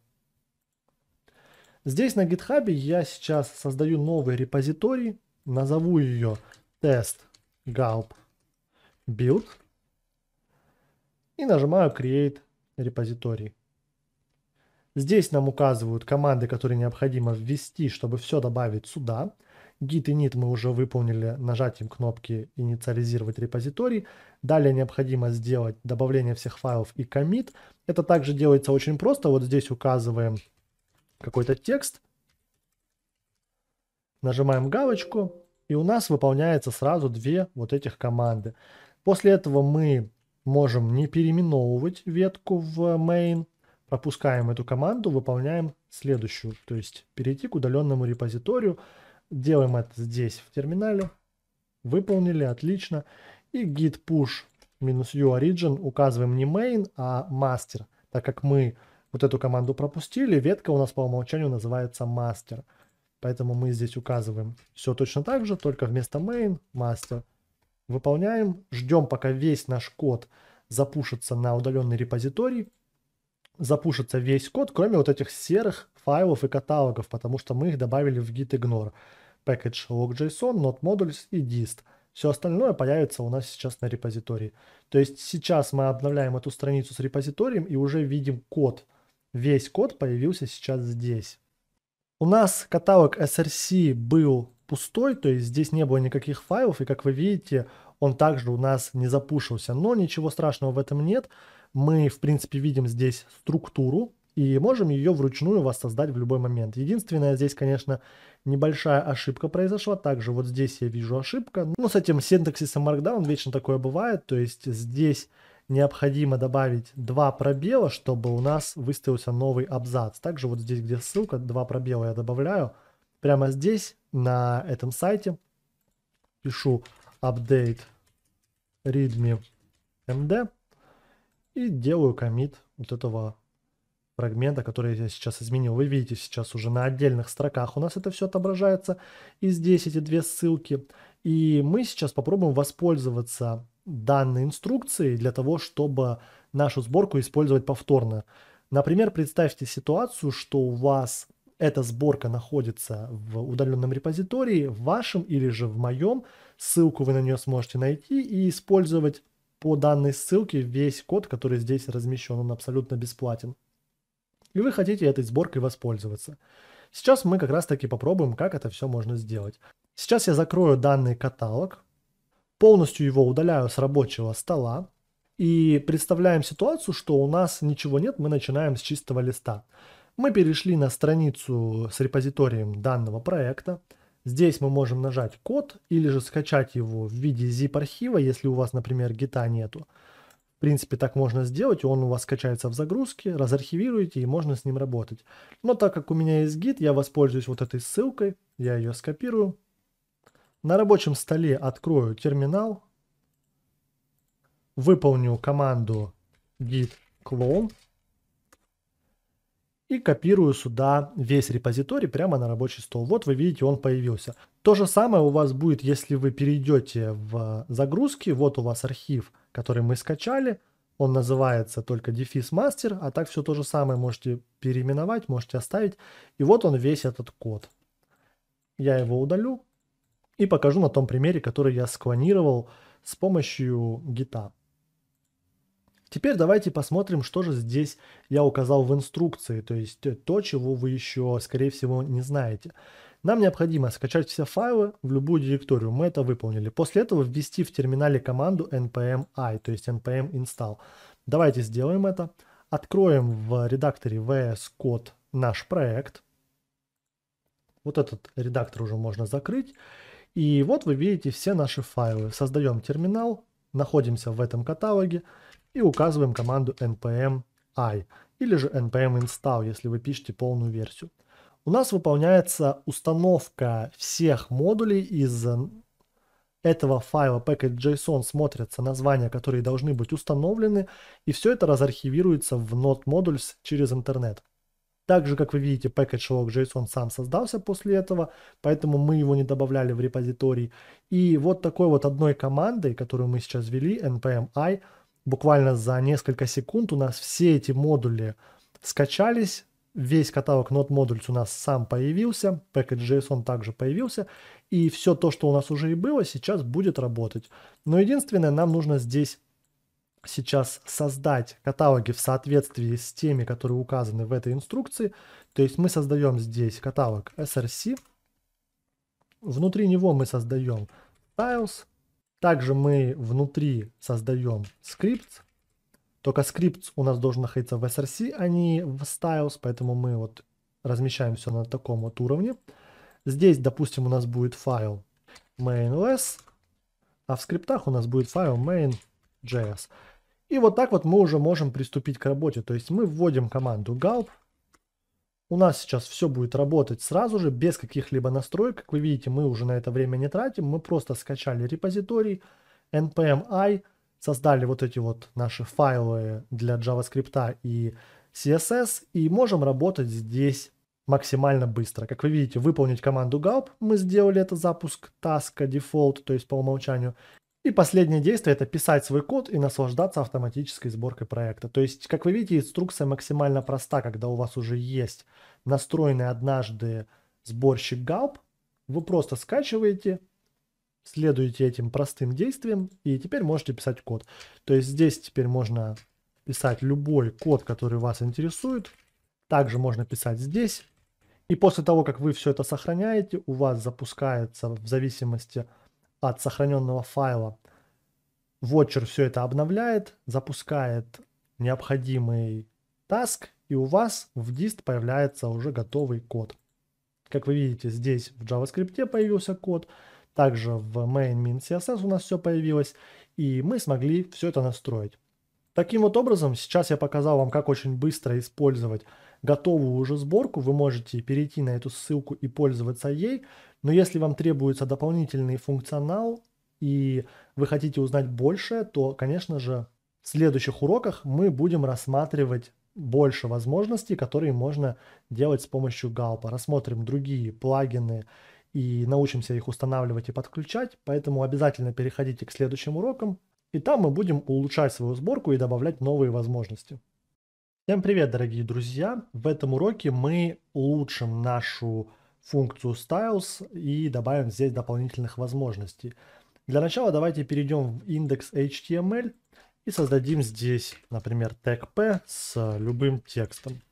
После этого запустим наш индекс HTML файл. Я это делаю с помощью Go Live. Вы же можете просто открыть индекс HTML файл мы видим здесь текст таким вот цветом, потому что мы в файле стиле указали. И смотрите, сейчас я увеличу размер в консоли и размер самого сайта. Если мы выбираем этот элемент, то мы здесь видим стили, которые к нему применены, и указано main.min css на первой строке. Это, конечно, неплохо, но мы бы хотели, чтобы указывалась строка в нашем файле less – то есть в изначальном файле, в котором мы работаем, потому что нам не интересно, что тут у нас на выходе получается, на какой строке у нас тот или иной код, а мы хотим видеть, где находится этот код у нас в файле, где мы работаем. Для этого можно сделать следующее. Мы установим сейчас э, такой вот плагин, который называется Gulp Source Maps. Он позволяет нам очень просто создавать эти карты специальные, и благодаря ним мы будем видеть все строки в наших файлах less. Давайте скопируем здесь данную команду и установим его в dev dependencies с помощью "-d". Вот он у нас установился. Копируем его название и подключаем здесь в самом верху. Назовем его просто source maps require и здесь название. Теперь в э, Styles мы можем использовать этот плагин. И смотрите, как он просто используется. Здесь в примере сразу же можно это посмотреть. Мы должны в самом начале вызвать первым делом pipe source maps init. Поэтому можем скопировать эту строку, вызвать ее здесь в самом начале. И перед тем, как записать все в конечную директорию, мы делаем source maps в write. И таким образом мы запишем нашу карту, которая будет создана. Давайте попробуем такой код и сейчас запустим, проверим, все ли у нас работает. Запускаем Gulp. Теперь мы можем здесь что-то отредактировать. И давайте проверим, изменилось ли у нас здесь что-то в отображении. Выбираем данный элемент и видим уже, что у нас отображается main.ls, четвертая строка. То есть действительно у нас все сейчас прекрасно работает, и мы видим все изменения уже относительно того файла, в котором мы работаем. И все эти элементы, которые мы здесь и указываем, будут нормально, корректно отображаться на HTML, когда вы работаете с инструментами разработчика. Это очень важно, и поэтому Source Map необходимо всегда устанавливать. Это незаменимый просто инструмент. В принципе, как вы видите, с ним работать очень просто, здесь никаких больше настроек не требуется. Его также можно использовать и для JavaScript, например. Возможно, у вас будет какой-то другой формат, то есть TypeScript или CoffeeScript, или даже для того же JavaScript, то вы можете подключать это все и к JavaScript. Давайте, в принципе, так и сделаем. Укажем здесь в нашем этом элементе source maps init. Вот здесь мы указывали source map, который по умолчанию включен в галпе, но с ним, возможно, какие-то некорректные работы, и он работает не так, как ожидается, то в таком случае мы просто подключаем то, что мы сейчас установили. И здесь мы указываем source maps init, И в самом конце вы видите, здесь указан какой-то дополнительный путь в этих кавычках. То есть так тоже можно сделать. Мы можем здесь указать какой-то путь, например, слэш, и сохранить.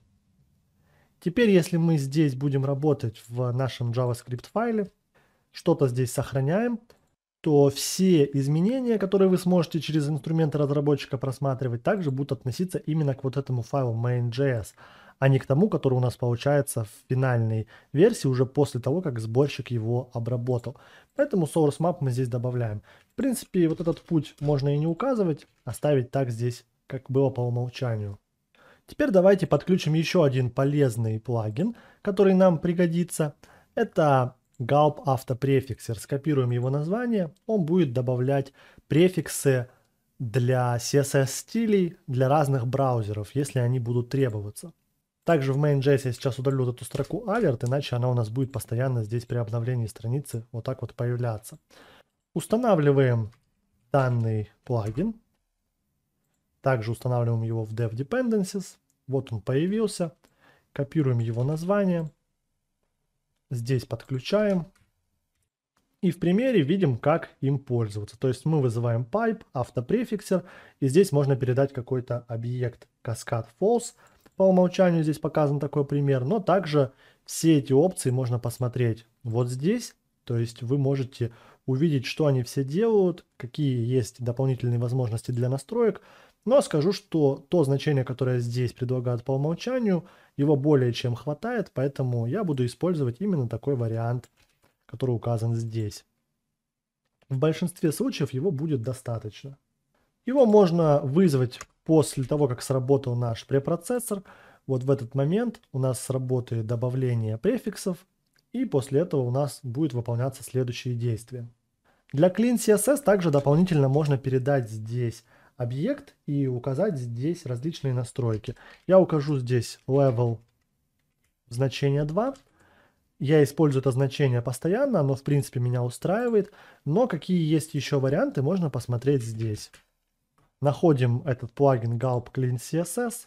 Смотрим, что здесь есть разные варианты, то есть можно указывать поддержку Internet Explorer 8, например, прямо так указав, или разные другие параметры. Здесь показано, как работать одновременно Source Map и Clean CSS, то есть мы его помещаем между инициализацией и записью в Source Maps. Ну, мы, в принципе, так и сделали, поэтому у нас здесь все корректно будет работать.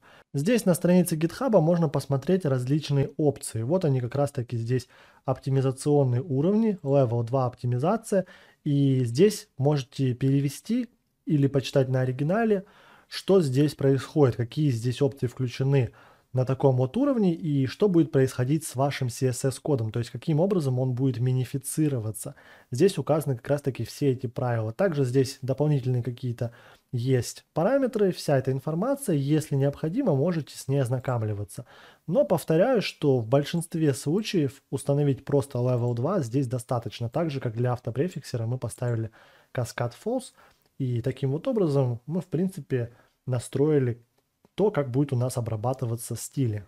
Здесь также я заметил, что код не преобразовывался в более старые стандарты, и Babel у нас не работает, такое ощущение, поэтому я зашел на страницу Gal Babel и вижу здесь использование, то есть здесь указывают preset и Babel env, вот такой вот параметр. Поэтому давайте его здесь передадим, создаем здесь внутри объект, указываем такую вот настройку, и сейчас попробуем скомпилировать что-нибудь, что мы делали до этого. Например, создать какой-то класс. И, например, здесь пусть будет какой-то метод. Напишем здесь вот такой код. Давайте запустим gulp. Мы получаем сейчас вот такую вот ошибку. И она связана с тем, что мы используем данный пресет, но у нас он не установлен. То есть его также нужно отдельно установить, как мы устанавливали Babel Core. Вот здесь э, есть описание, то есть как я к нему пришел на странице с этим плагином. Есть описание этих опций, и в принципе вот здесь также есть указанная команда для установки, то есть, как вы видите, gulp babel, babel core необходимо было установить, и также мы не устанавливали вручную babel preset env. Поэтому мы можем выполнить эту команду, то есть установить этот модуль, укажем здесь npm install -d babel preset env. Устанавливаем. И теперь у нас данный пресет должен, по идее, работать. Давайте попробуем снова выполнить gulp. Видим, что здесь все сработало. Посмотрим, что у нас получилось в результате из JavaScript файла. И вот вы видите, что уже действительно наш вот этот маленький код с классом превратился вот в такой достаточно большой код с функциями. То есть это все преобразовалось в более старый стандарт JavaScript и будет поддерживаться во всех браузерах. Также вот здесь добавился Source Maps. Если мы укажем, как нам рекомендовали в описании этого модуля, вот здесь укажем точку, например, заново попробуем запустить, то мы видим, что у нас появляется отдельный файл с расширением .map. Вот он здесь находится, как вы видите. И здесь просто указывается путь к нему. А здесь уже указывается вся конкретная информация. Таким образом, мы будем благодаря этой карте видеть, что у нас происходит в файле main.js в консоли из инструментов разработчика, и это будет очень удобно. Также можем поступить для CSS. Если мы сейчас обратим внимание на этот файл, здесь также есть эта карта в этом файле. Если мы укажем здесь точку в кавычках, теперь с помощью Ctrl-C остановим и вызовем снова gulp, у нас здесь появляется также отдельно эта карта. И так уже будет намного правильнее сделать. После этого у нас эта карта отдельно находится, все так же будет у нас работать, и в инструментах разработчика будет отображаться файл именно less. Точно то же самое будет и для JavaScript, или в дальнейшем вы можете работать, например, с TypeScript, CoffeeScript, или какими-то другими синтаксисами, и это будет отображаться именно в вашем исходном файле, в котором вы ведете работу. Как вы видите, сейчас мы рассмотрели source map, автопрефиксер и также доработали наш Babel, сделали здесь правильную настройку и установили еще один дополнительный модуль, и таким образом усовершенствовали нашу сборку. Всем привет, дорогие друзья! В этом уроке мы будем настраивать новый таск, который поможет нам сжимать изображения, выполнять их компрессию, и мы будем это делать с помощью Gulp Image Min. Вот такой вот плагин. Давайте его сразу же установим, копируем эту команду, здесь пока завершим и установим ее в Dev Dependencies, как обычно. Дожидаемся. И вот он у нас здесь появился. Давайте его сразу же подключим в нашем Gulp файл. Переходим в самое начало. Здесь укажу название просто ImageMin, а здесь правильное название этого плагина. Теперь здесь создадим новую функцию, назову ее EMG, и здесь мы сейчас будем выполнять весь необходимый код. Посмотрим примеры, которые здесь имеются. Базовый пример и пример с какими-то дополнительными опциями. Также это все можно подробно почитать на их сайтах с документацией и разобраться, как же это все устроено. Давайте для начала возьмем базовый пример. Вот мы его подключили с таким названием ImageMin. И теперь сделаем все, что здесь указано. Укажем здесь return gulp src. Здесь указано просто gulp src без return, потому что здесь используется стрелочная функция, но у нас здесь используется обычная функция, и мы должны обязательно указать здесь return. Здесь указывается путь к изображениям. Давайте его сейчас отсюда вырежем и создадим здесь вверху в нашей константе. Напишем здесь images. И у нас будет src. То есть здесь будет у нас изначальный путь. Это src images. Или же мы назовем ее emg, так будет намного проще. И звездочка, то есть здесь любые файлы. Давайте сразу создадим здесь новый каталог emg. Чуть позже поместим туда картинки. Также у нас должен быть каталог назначения, то есть куда мы это все записываем. Поэтому мы здесь вырезаем, через запятую указываем здесь dest, и у нас здесь будет каталог dist и mg. Теперь мы укажем здесь правильные пути. pass, images, src. И здесь у нас будет pass images dest. Таким вот образом мы сейчас подключили самую базовую, самую простую компрессию наших изображений. Давайте также экспортируем эту функцию в виде отдельной задачи, чтобы ее можно было вызывать с помощью gulp img отдельно при необходимости. И также можно будет добавить ее вот сюда в наш финальный build, где у нас будет выполняться сразу все, и сжатие изображений в том числе. Укажем здесь export img, данную функцию. И вот здесь можно параллельно со стилями и скриптами добавить также этот task EMG. Давайте это сделаем. В принципе, он у нас может вызываться отдельно, может вызываться сразу же здесь.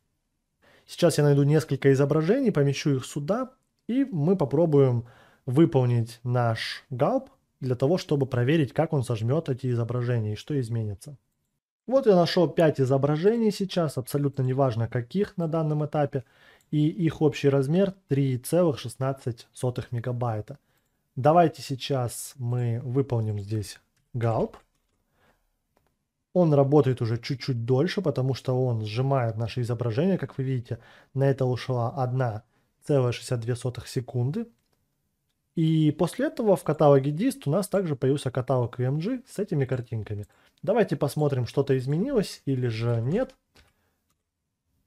Видим 5 тех же самых картинок, и их размер 1 мегабайт 38. То есть они сжались у нас чуть больше, чем в два раза. То есть э, все отлично у нас отработало, и даже без каких-либо настроек у нас ImageMin корректно работает.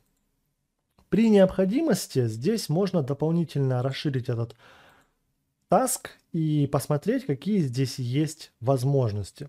Здесь, как вы видите, из названий даже в принципе достаточно понятно, какие-то параметры для GIF изображений, для JPEG, для PNG, то есть э, мы можем здесь это все более детально настраивать для SVG изображений векторных. Все это можно настраивать, указывать э, Optimization Level, уровень оптимизации. Также вот эта настройка Progressive True, в принципе, я ее рекомендую вам использовать как минимум ее для обычной даже настройки, то есть вот здесь, где мы использовали общую настройку ImageMin, можно передать объект, и указать здесь прогрессив значение true. В принципе, это тоже полезная функция, она немного лучше сжимает изображение. А уже при необходимости дополнительно можно ознакомиться с этими параметрами и расширить этот функционал так, как вам потребуется. Также вы видите, что здесь можно указывать по отдельности для разных форматов, а вот здесь указано просто все те же самые параметры в одном общем объекте для ImageMin. Тогда будет применяться для всех форматов. И как раз таки вот они, все здесь параметры Progressive True мы уже установили. Optimization Level также можно изменить, а все остальное уже опционально, то есть при необходимости можно дополнительно добавить. Также обратите внимание, когда у нас выполнилось сжатие, мы здесь сразу видели, что сохранено у нас 1,86 мегабайта, это 56%. На такой вот объем получилось минифицировать наши 5 изображений. Поэтому здесь также эта информация указывается. Качестве самостоятельной работы попробуйте здесь разные варианты добавить для плагина ImageMe, например, Optimization Level в значение 1, 2, 3 или же 5, как здесь указано – и попробовать скомпилировать эти изображения, сжать их, посмотреть разницу между этими уровнями, сколько будет э, сэкономлено мегабайт в процентах и также в объеме. И также посмотрите на глаз эти изображения, сильно ли они изменились, то есть видно ли, что они сжались и качество действительно ухудшилось, или качество в принципе не пострадало, но размер уменьшился. Поэтому все эти варианты попробуйте, найдите какой-то оптимальный для ваших проектов, чтобы не слишком сильно ухудшалось качество, но при этом была видна выгода от компрессии этих изображений. Ну а в следующем же уроке мы продолжим расширять возможности нашей сборки. Всем привет, дорогие друзья! В этом уроке мы рассмотрим, как подключить плагин для минификации HTML и посмотрим, как он работает. Переходим на страницу gulp HTML min – и устанавливаем данный плагин, копируем команду, вставляем здесь и устанавливаем ее в Dev Dependencies. После этого мы ее подключим, просто скопируем отсюда данную строку, чтобы не писать это все вручную. И здесь мы можем указать такой вот task для минификации HTML, если это вдруг необходимо по каким-то причинам. Как вы видите, здесь синтаксис таска немного отличается. Давайте рассмотрим сейчас заодно данный синтаксис. Сделаем вот здесь этот код и посмотрим, в чем же его отличие. В принципе, можно использовать и тот, и тот вариант, в зависимости от того, какой вам больше нравится. Но раз мы уже используем синтаксис с функциями, то предлагаю дальше его использовать. Но здесь сразу же создается task с помощью gulp task, указывается его название, круглые скобки стрелочка это стрелочная функция, и сразу же указывается здесь return и что будет у нас выполняться. Если у вас выполняется одна строка, можно в принципе оставить просто gulp src без фигурных скобок, return, но это уже все JavaScript и особенности именно JavaScript и нового стандартного ECMAScript 6. Но мы сейчас переделаем ее под такой же вариант, как мы использовали везде, чтобы у нас все было в едином стиле. Название здесь укажем HTML. И здесь перенесем вот этот код. Как вы видите, здесь указано у нас два пути, поэтому мы их сейчас также добавим вот здесь. У нас будет src и dest. Здесь можно скопировать, в принципе, этот путь. То есть мы укажем здесь src, и в этом файле любые файлы звездочка.html. Или же мы можем просто указать точка slash звездочка HTML, чтобы рассматривать все файлы, которые у нас находятся прямо вот здесь в корне. Но можно также сделать, как и было до этого. То есть в таком случае нам нужно будет всю разработку вести в SRC, в том числе и индекс HTML. Такая структура будет даже более правильная, а в результате мы все будем помещать в dist. Давайте просто сейчас перенесем индекс HTML в SRC. Здесь у нас два пути установлено. Укажем их вот здесь. И вот такая вот функция у нас сейчас уже имеется. Здесь также экспортируем этот task. Укажем здесь HTML. И в самом начале параллельно, или же даже давайте вот здесь укажем последовательно HTML, запятая, а уже после этого мы будем обрабатывать стили, скрипты и изображения. Попробуем, что же у нас получилось. Запускаем Gulp. Видим, что у нас все отработало. Сначала HTML, потом стили, скрипты и изображения. И теперь у нас включился Watcher, который отслеживает, что у нас изменяется. В результате видим здесь у нас в каталоге dist index.html. Вот он сжатый минифицированный HTML файл. И если вам нужно так сделать, то можете использовать этот плагин, установить его. Как вы видите, очень простой таск мы здесь создали – запустить его прямо в нашем таске build, или же при необходимости запускать его отдельно с помощью gulp HTML. И таким вот образом у нас превращается весь HTML в минифицированную версию, помещается в каталог dist. Думаю, здесь все было просто, вы уже самостоятельно можете здесь дополнительно все изучить. На самом деле здесь настроек практически никаких дополнительных нету, а данный плагин очень простой и легко подключается и легко используется. Всем привет, дорогие друзья! Сейчас мы установим очень маленький и простой плагин, который называется Gulp Size, для того, чтобы посмотреть в консоли, когда у нас все будет компилироваться, размер того или иного файла. Давайте скопируем сейчас команду для установки. Установим данный плагин. Видим, что вот он у нас появился. После этого мы здесь его подключаем и можем использовать в соответствии с э, этими готовыми примерами. Здесь, как мы видим, в момент перед тем, как файл у нас отправляется в конечную директорию, вызывается pipe с одной единственной функцией size. И все. Таким вот простым образом можно его подключить в любом месте, например, здесь в HTML перед тем, как компилируются данные файлы, в CSS перед последней строчкой, и в JavaScript. Также давайте попробуем указать этот плагин в нашем таске с изображениями. Если не сработает, то мы просто удалим эту строку. Сейчас посмотрим, напишем здесь gulp. И давайте взглянем, что мы здесь видим в результате. Мы видим, HTML у нас скомпилировался, размер всех файлов HTML 347 байт. Далее у нас стартовали стили, скрипты, параллельные изображения, и мы видим здесь размеры 367 и 1 килобайт.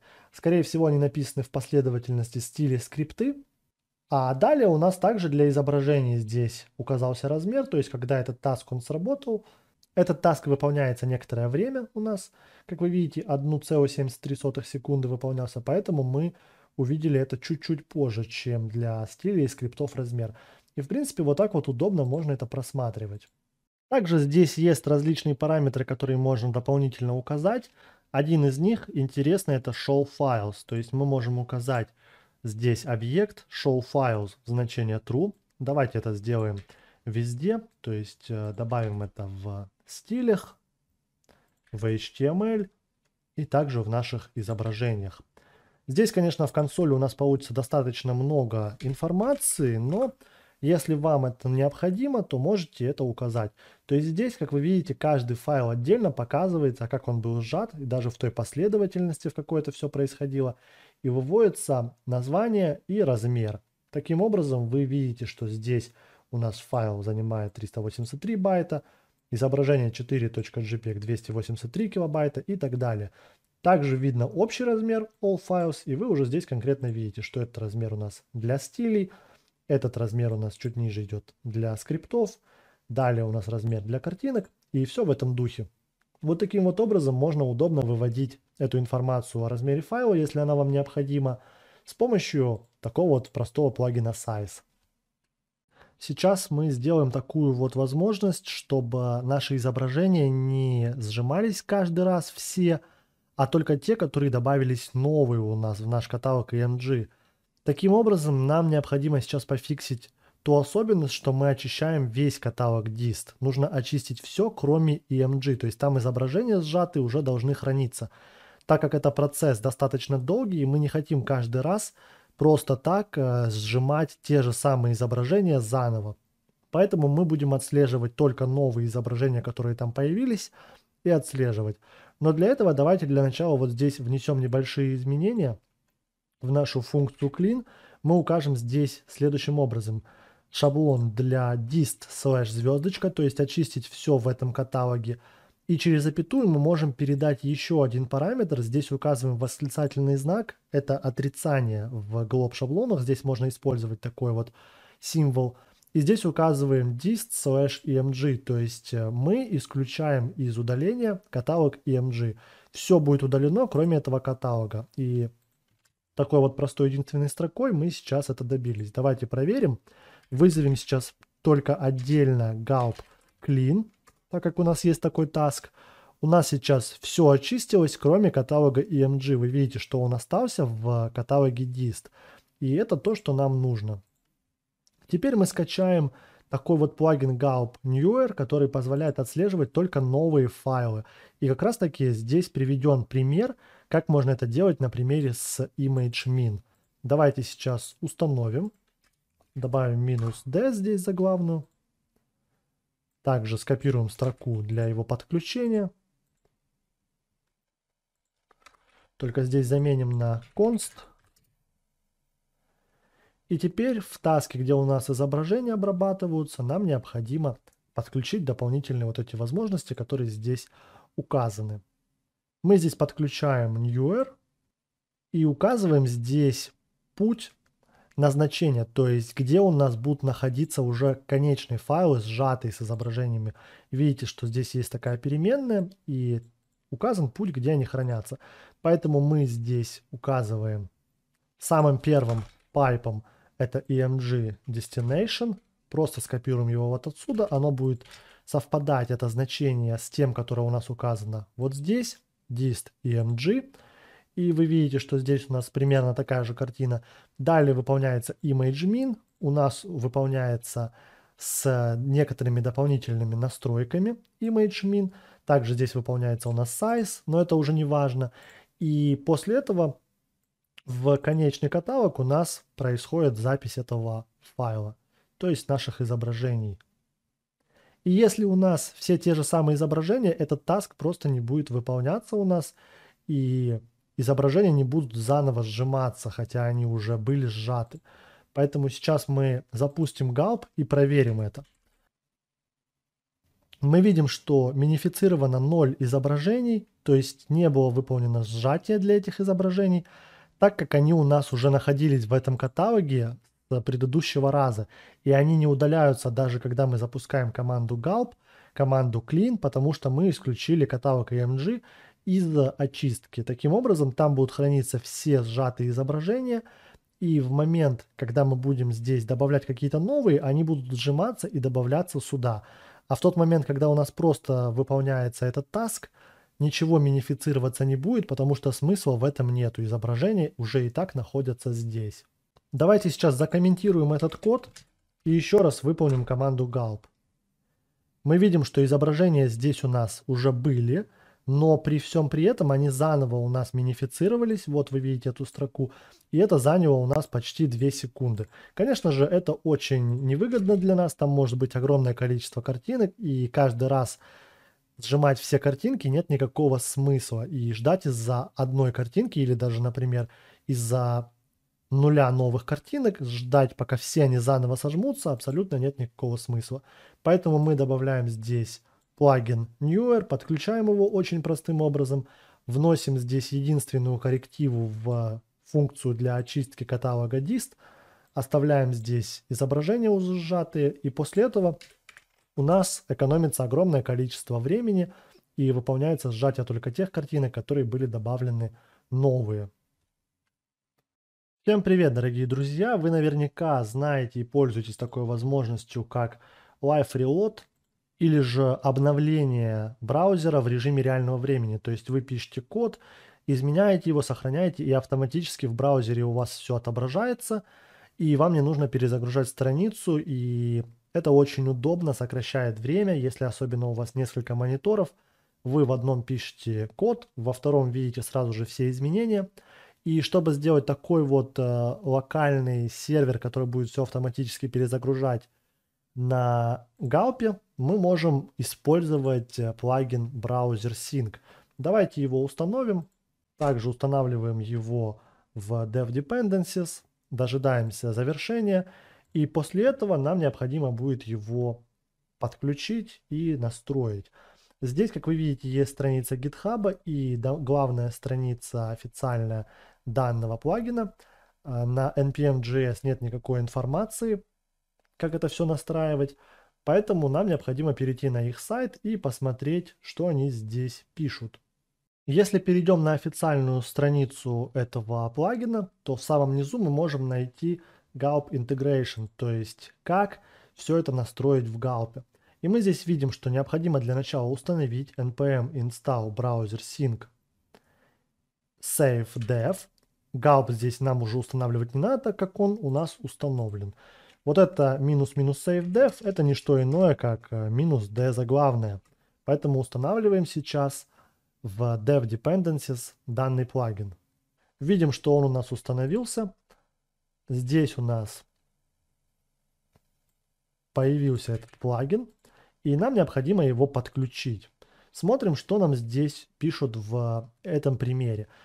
Нужно подключить его в любую переменную, мы создадим константу, с помощью require его название и также укажем .create с круглыми скобками. Поэтому мы здесь создаем константу, назовем ее browser sync. С помощью require мы ее подключаем и указываем .create с круглыми скобками. Нам необходимо скопировать вот такую вот строку и в тех местах, где у нас выполняется обработка стилей и скриптов, вызвать этот поток для браузер Sync. Поэтому мы сейчас переходим в, например, в наш HTML, в самый низ, после того, как мы создали уже результирующий файл, мы можем также здесь вызвать браузер Sync Stream. Только здесь у нас написано с маленькой буквы, поэтому мы указываем именно такое название. Здесь точка запятой не нужна в таком случае. Копируем эту строку и указываем ее также в стилях и в скриптах. А в нашем таске Watch мы запустим сам сервер, то есть нам необходимо его инициализировать вот такой вот примерно строкой. Давайте ее сейчас скопируем. Добавляем ее в наш Task Watch. Браузер sync init.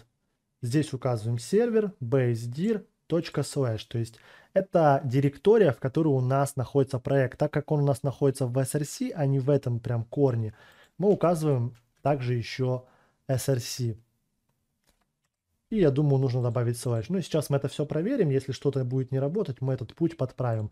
Если у вас HTML файл, например, находится прямо здесь в корне, то так оставляете точка slash, как было по умолчанию. При изменении HTML у нас не будет происходить обновление, нужно это добавить вручную в вотчере, а при изменении CSS и JavaScript у нас автоматически сервер будет перезагружаться. Поэтому мы также добавим здесь gulp watch. И для HTML нашего пути SRC мы добавим, что необходимо сделать. Браузер sync reload. И вот сейчас, если мы все сделали правильно и указали корректный путь, у нас, по идее, все должно заработать. Давайте попробуем сейчас выполнить здесь task gulp. Видим сейчас здесь ошибку. Давайте разбираться, в чем же проблема. У нас либо неправильный путь, либо мы вот здесь неправильно обновляем браузер при изменении HTML файла. Конечно же, вот здесь э, нужно делать не совсем таким образом. Мы указываем gulp watch и путь HTML. Далее здесь через точку мы указываем on. В круглых скобках change то есть при изменении HTML файла. И через запятую мы уже указываем браузер sync reload. Вот таким вот образом мы сейчас все подкорректировали. Давайте снова запустим gulp. Снова видим данную ошибку. У нас браузер sync в каком-то месте, видимо, написано большими буквами. Давайте проверим. И вот мы видим, действительно у нас вот здесь указано браузер sync с заглавной буквы. Во всех остальных местах мы указывали с маленькой буквы, поэтому это также очень важно. Снова запускаем. Как вы видите, терминал помогает нам все эти ошибки отслеживать. И вот сейчас уже у нас все запустилось. Это означает, что путь у нас также здесь указан правильный к базовой директории. Там у нас находится HTML файл. Вы видите, что у нас сразу же после команды gulp открылся браузер. И все, что мы будем делать, у нас будет отображаться в браузере автоматически. Давайте это проверим. Например, индекс HTML файл, в котором мы работаем, мы здесь изменим какой-то текст. Сохраняем и сразу же видим здесь уведомление, что все было обновлено. Видите, здесь текст изменился. И если мы также будем изменять, например, наши стили, то это все будет применяться к нашему серверу и автоматически все будет обновляться. Сейчас мы видим, что стили у нас почему-то не применились. Давайте перейдем в этот файл и посмотрим, в чем же проблема. Здесь у нас в файле все есть. В HTML файле у нас также все подключено. dist CSS style min CSS. Но по какой-то причине у нас здесь ничего не изменилось в плане стилей. Но если мы обратим внимание на путь, конечно же, здесь указан каталог dist, но когда мы этот файл переместили в src, также здесь он переместился в dist, у нас уже нет необходимости указывать этот каталог. Поэтому мы здесь должны указать просто CSS, потому что сразу же рядом с индекс HTML находится этот каталог. И то же самое для JavaScript. Сохраняем. И вот теперь уже у нас должно быть все правильно. Запускаем снова gulp. У нас заново запускается сервер. Закрываем. Проверяем через инструменты разработчика здесь подключение этого файла. И вот тут уже, в принципе, я понял, что также вот этот путь указан не совсем корректно. Все-таки мы работаем с финальной версией, которая у нас уже скомпилировалась, поэтому укажем здесь каталог dist. В таком случае все уже точно должно работать. Давайте снова отменим здесь выполнение и заново выполним gulp. И вот сейчас вы уже видите, что стили у нас применились. Как только мы что-то меняем в этом файле, оно также здесь сразу же обновляется. Но сейчас опять-таки у нас проблема с HTML. Давайте разберемся. Вот здесь также нам нужно указать dest, то есть э, HTML должен браться из каталога финального, когда он уже минифицировался у нас. Сохраняем. Снова завершаем галп и запускаем его заново. Пробуем здесь изменять HTML. Видим, что на изменение HTML у нас никакой реакции не происходит. Вот здесь у нас отслеживается момент изменения этого файла, и в этот момент сервер перезагружается.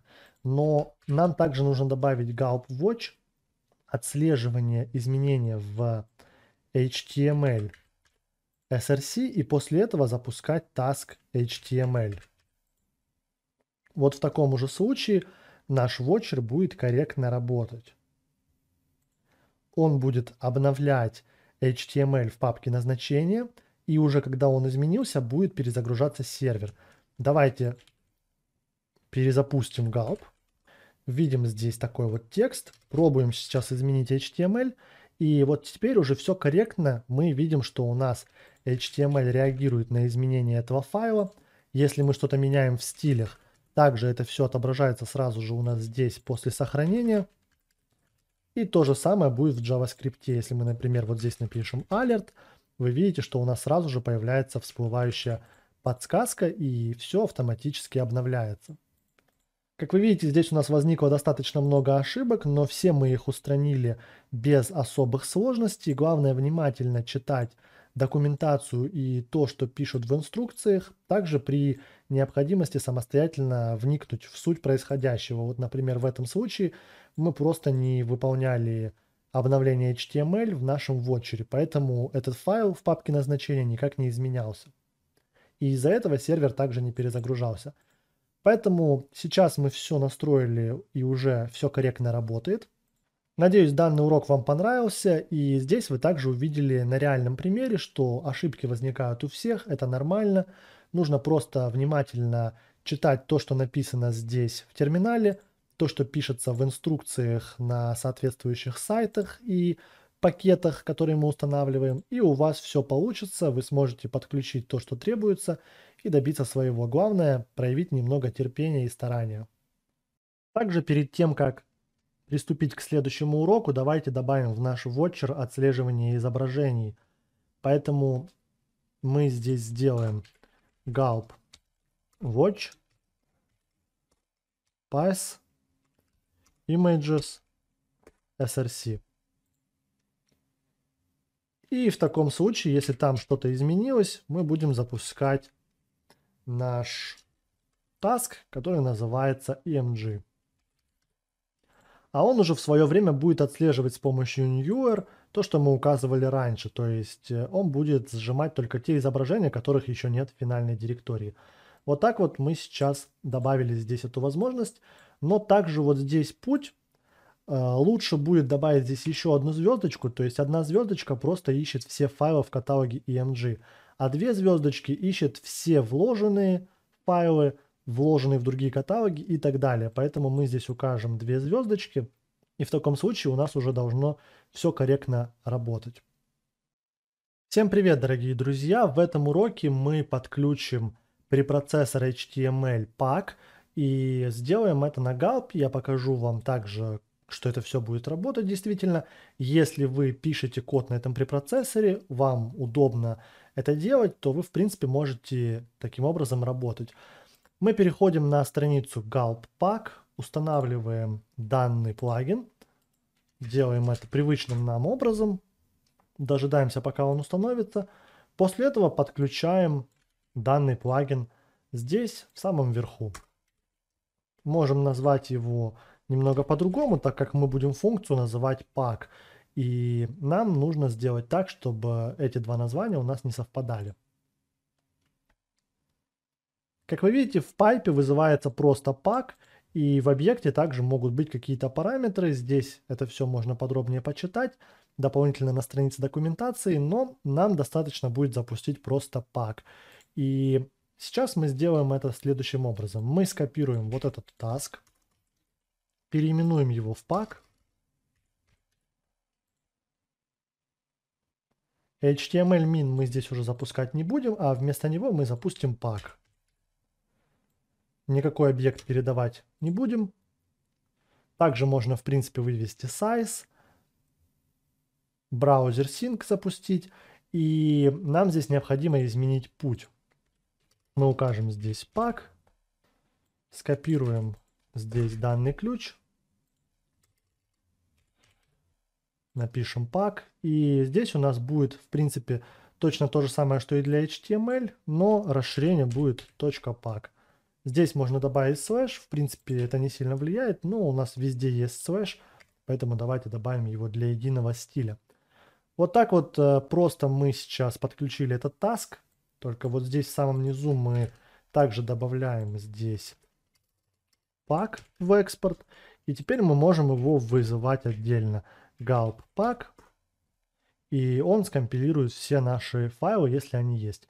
Пока что их нет, давайте создадим в src новый файл, назовем его, например, second pack, поместим сюда какой-нибудь код для примера, возьмем с официальной документации pack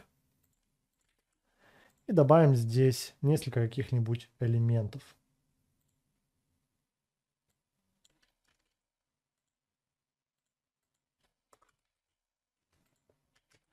Вот такой вот код мы написали в этом файле. Здесь мы называли данный плагин Gulp Pack, поэтому здесь мы его также должны вызвать с таким названием, конечно же. И теперь давайте попробуем запустить Gulp Pack. Как вы видите, все у нас сработало, вывелось название. И вот у нас появился файл second.html. Pack – это препроцессор HTML, поэтому в результате получается HTML файл. Вот все, что мы написали в этом файле, преобразовалось вот в такой вот код. Также это все было минифицировано в одну единственную строку. Поэтому, если вам удобно пользоваться этим препроцессором, то можете делать это вот таким вот простым образом. Как вы видите, мы просто его подключили, создали новый таск и запустили. При необходимости здесь дополнительные какие-то опции вы можете изучить и поставить здесь в фигурных скобках в момент вызова galpack вот здесь. Я оставлю данный таск в этом проекте, но он не войдет в окончательную версию сборки, но вы сможете при необходимости его вызывать либо вручную, либо подкорректировать вот этот вот наш таск, указать здесь, например, вместо HTML пак, и у вас в таком случае будет пак как основной инструмент для работы с HTML. Поэтому здесь возможности будут для редактирования дополнительные. Думаю, после просмотра этого курса вы уже сможете с легкостью здесь все подкорректировать и настроить те плагины, которые вам нужны для вашей работы. Если вы, например, не используете пак, то, естественно, вам не нужно его постоянно здесь компилировать, у вас даже таких файлов не будет.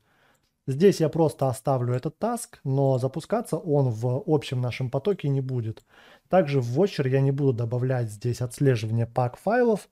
Если же вам это нужно, сделайте это по аналогии с тем, как мы это делали для HTML, CSS и наших скриптов.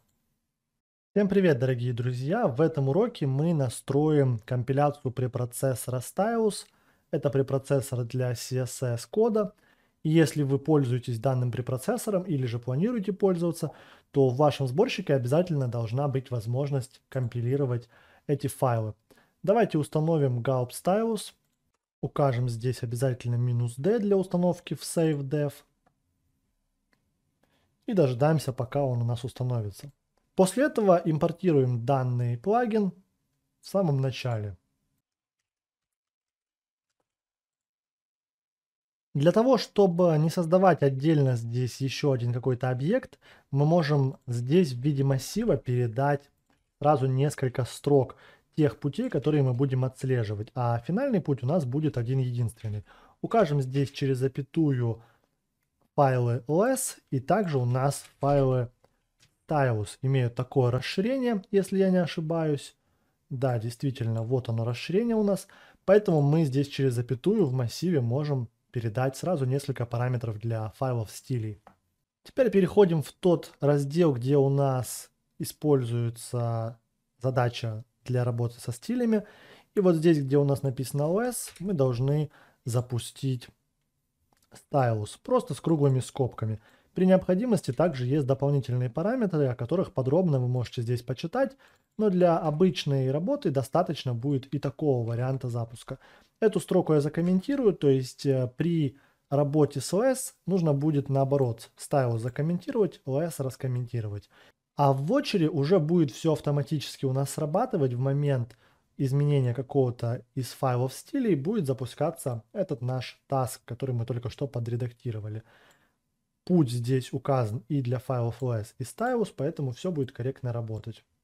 Давайте сейчас попробуем здесь создать какой-нибудь файл. Укажем здесь любой код на этом препроцессоре. Вы видите, сразу же у нас предлагается установить расширение Stylus для того, чтобы была подсветка синтаксиса. Но так как я этим синтаксисом не пользуюсь, я использую либо обычный CSS, либо SAS, поэтому я не буду устанавливать это расширение, но учтите, что есть такая возможность и будет намного комфортнее работать с этим препроцессором. Я же сейчас просто сохраняю этот файл, вот он здесь находится, и сейчас мы посмотрим, чтобы в файле style.min.css компилировался именно этот код, а не тот, который у нас был в файле ls. Давайте запустим сейчас gulp. Видим, что у нас все запустилось, но здесь у меня расположен сейчас код, который я писал в style.ls. Давайте посмотрим, в чем же проблема. Я просто удалил этот файл ls, и теперь все компилируется корректно. То есть у нас имеются только файлы stylus, и вот что мы получили в результате. Данный код скомпилировался вот в такой вот. И вы видите, что у нас сразу также все это обновилось и прекрасно здесь отработало. Если мы, например, здесь укажем что-то еще, сохраним, то видим, что у нас сейчас все это обновилось и изменился здесь цвет. То есть все корректно работает таким вот простым способом. Мы добавили работу с этим препроцессором. Всем привет, дорогие друзья! В этом уроке мы поработаем еще с одним CSS препроцессором. Это препроцессор SAS. Он вносит два дополнительных синтаксиса. Это синтаксис SAS и SCSS. И вы можете использовать любой из них, который вам больше нравится. Для того, чтобы начать работать с этим плагином, нам необходимо установить SAS, который будет все это компилировать, а также Gulp SAS, для того, чтобы уже подключить это все в сборщике Gulp. Давайте выполним такую вот команду. Устанавливаем два данных модуля в SaveDev. Файл Styles можно в принципе удалить. Сейчас мы будем тестировать другой синтаксис, поэтому он нам не понадобится. В package.json мы видим, у нас добавился здесь SAS, а также gulp SAS. Копируем строку с документации, переходим в самый верх и подключаем здесь SAS таким образом. То есть мы здесь и gulp SAS вызываем, и обычный SAS, который мы установили. И теперь просто нужно вызвать SAS. При необходимости можно вызывать его вот в таком формате. Давайте скопируем этот код. И там, где мы обрабатываем наши стили, выполним такой пайп. Styles мы здесь закомментируем, потому что он нам уже не нужен. А вот здесь дополнительно добавим еще два элемента, две строки. Первая и вторая. Здесь у нас будут расширения SAS, а во втором случае SCSS, потому что этот препроцессор позволяет использовать два расширения, как я говорил, два разных синтаксиса – Давайте сохраним. Теперь в очереди у нас также это все будет срабатывать и запускать наш task styles. И будет выполняться вот эта строка, будет компилировать этот препроцессор. Создадим здесь сейчас новый файл main sas. Возьмем какой-нибудь готовый пример кода, использующий этот синтаксис. Сохраним и выполним gulp. Здесь также предлагается расширение для работы с SAS. Проверяем, что у нас в результате. Вы видите, что все у нас действительно скомпилировалось и преобразовалось в обычный CSS. Также давайте попробуем другой синтаксис, это SCSS, скопируем его, переименуем файл в SCSS и здесь добавим вот этот код.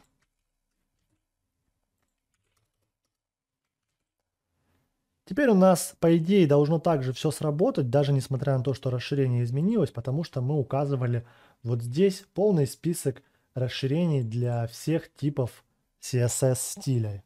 И если мы посмотрим, видим сейчас то же самое, но здесь в main CSS все скопировалось. Давайте попробуем изменить. Например, здесь изменим цвет на 555. И видим, также он здесь компилировался и изменился. То есть таким образом мы теперь можем и работать с препроцессором SAS, с его синтаксисом SCSS, с препроцессором Stylus и с препроцессором LS. В зависимости от того, какой препроцессор вам больше нравится и вы хотите с ним работать, просто здесь раскомментируйте одну строку и закомментируйте две других, и вы можете работать. Здесь же у нас в очереди ничего не поменялось за счет того, что мы добавили просто все эти типы расширений в наш объект PES. Всем привет, дорогие друзья! В этом уроке мы рассмотрим, как можно работать с TypeScript. Это такой расширенный JavaScript, у которого другой синтаксис, и если вы пишете код на нем, или же хотите начать изучать TypeScript, то как раз таки с помощью галпа вы также можете компилировать TypeScript в обычный JavaScript. Поэтому мы здесь делаем следующее. Мы устанавливаем плагины TypeScript и gulp TypeScript. Делаем это в SafeDev. После того, как мы установили эти плагины, давайте подключим TypeScript. Делайте это таким образом. Ничего нового уже здесь для нас нет. Укажем здесь TypeScript и модуль gulp TypeScript. После этого смотрим, как здесь все используется. Мы вызываем здесь pipe TypeScript с некоторыми параметрами и указываем далее финальную папку. То есть все очень просто. Давайте сейчас возьмем, перейдем в наш task со скриптами и укажем здесь данный pipe. Вызовем TypeScript название у нас получится уже output.js, например, или мы можем также оставить main min.js.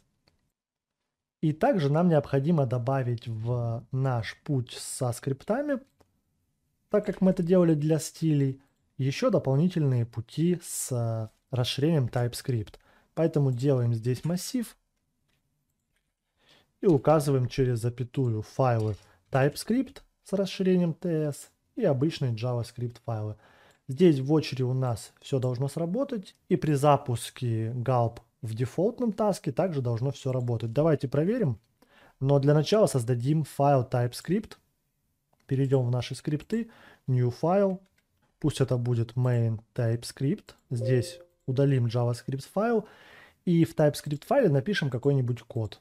Перейдем на TypeScript в Википедии, например, найдем готовый фрагмент кода и просто укажем его в нашем файле. Копируем, например, этот код, ставим сюда и запустим gal. Посмотрим, работает ли у нас сейчас компиляция из TypeScript в JavaScript. Видим сейчас здесь у нас ошибки, синтаксис error, и также здесь у нас срабатывают какие-то другие ошибки в task scripts, но это скорее всего потому, что у нас выполняется это все так, как мы планировали для обычного JavaScript, то есть выполняется Babel, выполняется Uglify, Concat и так далее. Также, если подключить Babel и Uglify после того, как мы скомпилировали TypeScript, должно все работать корректно. Давайте попробуем этот закомментированный код переместить ниже, то есть сначала подключить TypeScript, а уже после этого Babel и Uglify. И у нас это все также должно будет сконвертироваться в более старый стандарт и минифицироваться. Давайте проверим, работает ли это. Видим, что действительно все работает, потому что у нас сначала выполняется преобразование TypeScript в обычный JavaScript в данной строке, После этого выполняется Babel, далее Uglify это все минифицирует. Concat у нас объединяет все файлы и называет их таким образом. Но и здесь у нас, в принципе, такой же файл генерировался. И в результате мы получаем вот такой файл. Вы видите, что он у нас сейчас минифицированный. Обычный JavaScript из нашего кода TypeScript, который мы до этого написали. Таким образом, теперь вы можете писать код и на TypeScript, и на JavaScript. Здесь мы прописали два разных расширения, и все будет корректно работать у нас и в том, и в том случае. Всем привет, дорогие друзья! В этом уроке мы рассмотрим работу с э, языком CoffeeScript, который в итоге транслируется в обычный JavaScript. Если вам удобно писать на CoffeeScript или же вы хотите изучить его, то сейчас мы настроим наш сборщик Gulp таким образом, чтобы можно было работать с такими файлами. Давайте установим Gulp Coffee, так называется наш плагин. Установим его в SaveDev и подключим так, как указано здесь в примере. После этого нам необходимо вызвать pipe кофе с вот таким вот параметром. Как вы видите, все предельно просто. И также необходимо отслеживать расширение кофе. Поэтому мы сейчас здесь переходим в наш task скриптов. В том месте, где мы вызывали TypeScript, мы сейчас вызовем pipe для CoffeeScript. Вот этот фрагмент мы сейчас закомментируем, потому что мы не будем писать на TypeScript, а будем писать на CoffeeScript. И здесь у нас будет какая-то возможность выбора, на чем мы хотим разрабатывать. Укажем здесь файл с таким вот расширением. В этом файле можем написать какой-нибудь простой пример кода на CoffeeScript. Давайте скопируем этот пример кода, разместим его здесь. И также вот здесь изменим путь, а точнее добавим его через запятую для файлов с расширением кофе. И вот таким вот простым способом у нас сейчас все должно заработать. Давайте попробуем запустить и проверить. Видим, что у нас все сработало. Здесь у нас никаких ошибок не было. И посмотрим, что получилось в результате. Вот он у нас файл. Превратился в JavaScript. Достаточно много кода здесь. Также это все минифицировалось. Есть карта. И, как вы видите, все действительно работает. Мы можем писать теперь код на CoffeeScript. Он будет сам превращаться в JavaScript и также обеспечится поддержка старыми браузерами. Все это будет минифицировано для максимальной оптимизации. И вам нет необходимости задумываться над всеми этими вопросами после того, как вы уже настроили этот сборщик. Вы можете просто писать здесь код на CoffeeScript с максимальным комфортом. Если вам нравится такой синтаксис, где все у нас отделяется табуляциями, а не фигурными скобками в стиле Ruby или Python, то вы можете использовать, конечно же, CoffeeScript. И таким простым способом мы сейчас это настроили всего лишь одной строкой и установкой одного единственного плагина. Надеюсь, этот урок был вам полезен, и если вам нравится данный язык CoffeeScript, то вы можете теперь полноценно вести разработку на нем, а сборщик Gulp позаботится о том, чтобы преобразовать ваш код в обычный JavaScript. В завершении хочу сказать, что я здесь добавил комментарии в основных разделах. Также некоторые разделы немного оптимизировал, улучшил. Это вы все сможете самостоятельно посмотреть. Каких-то глобальных изменений не было. В отличие от того, что вы видели в последнем видео уроке. И весь код доступен на GitHub бесплатно, вы можете скачать и пользоваться этим репозиторием. Здесь есть подробное описание всех этих пакетов, Вместе со ссылками вы сможете сразу же перейти и подробно прочитать про тот или иной пакет, документацию. Также здесь есть инструкция и какая должна быть структура проекта, чтобы у вас все файлы находились в тех местах, где необходимо. Здесь справа есть релизы, и вы можете нажать релиз. По мере обновления данного репозитория, возможно, будут появляться новые версии, но сейчас здесь есть одна единственная версия. Вы можете сразу же нажать source code, скачать код и пользоваться этим репозиторием. Даже если у вас не установлен Git, вы можете просто скачать отсюда этот проект, извлечь архив и вот здесь все необходимые вам файлы. После этого также используйте эту инструкцию и работаете с этим сборщиком. Я надеюсь, этот курс был вам полезен и все было понятно. Если остались какие-то вопросы, обязательно задавайте их, и я на них отвечу. Пользуйтесь данной сборкой, она позволит вам оптимизировать многие задачи и ускорить вашу разработку. При необходимости редактируйте, добавляйте что-то новое, настраивайте сборку для себя под тот стек технологий, который используете вы. Если вы пишете на TypeScript, то учитывайте это в вашем gulp file.js. Также выбирайте необходимый CSS препроцессор, который вы используете и который нравится именно вам. Если вы напишите свои какие-то интересные сборки для определенного стека или же хотите просто поделиться своим кодом, то обязательно пишите об этом мне в сообщениях. Надеюсь, данное видео было полезно. Если оно понравилось, то обязательно оцени его и напиши комментарий. На этом экране ты можешь перейти к другим похожим видео и следующим видео из этого курса. Желаю удачи в разработке и до скорых встреч!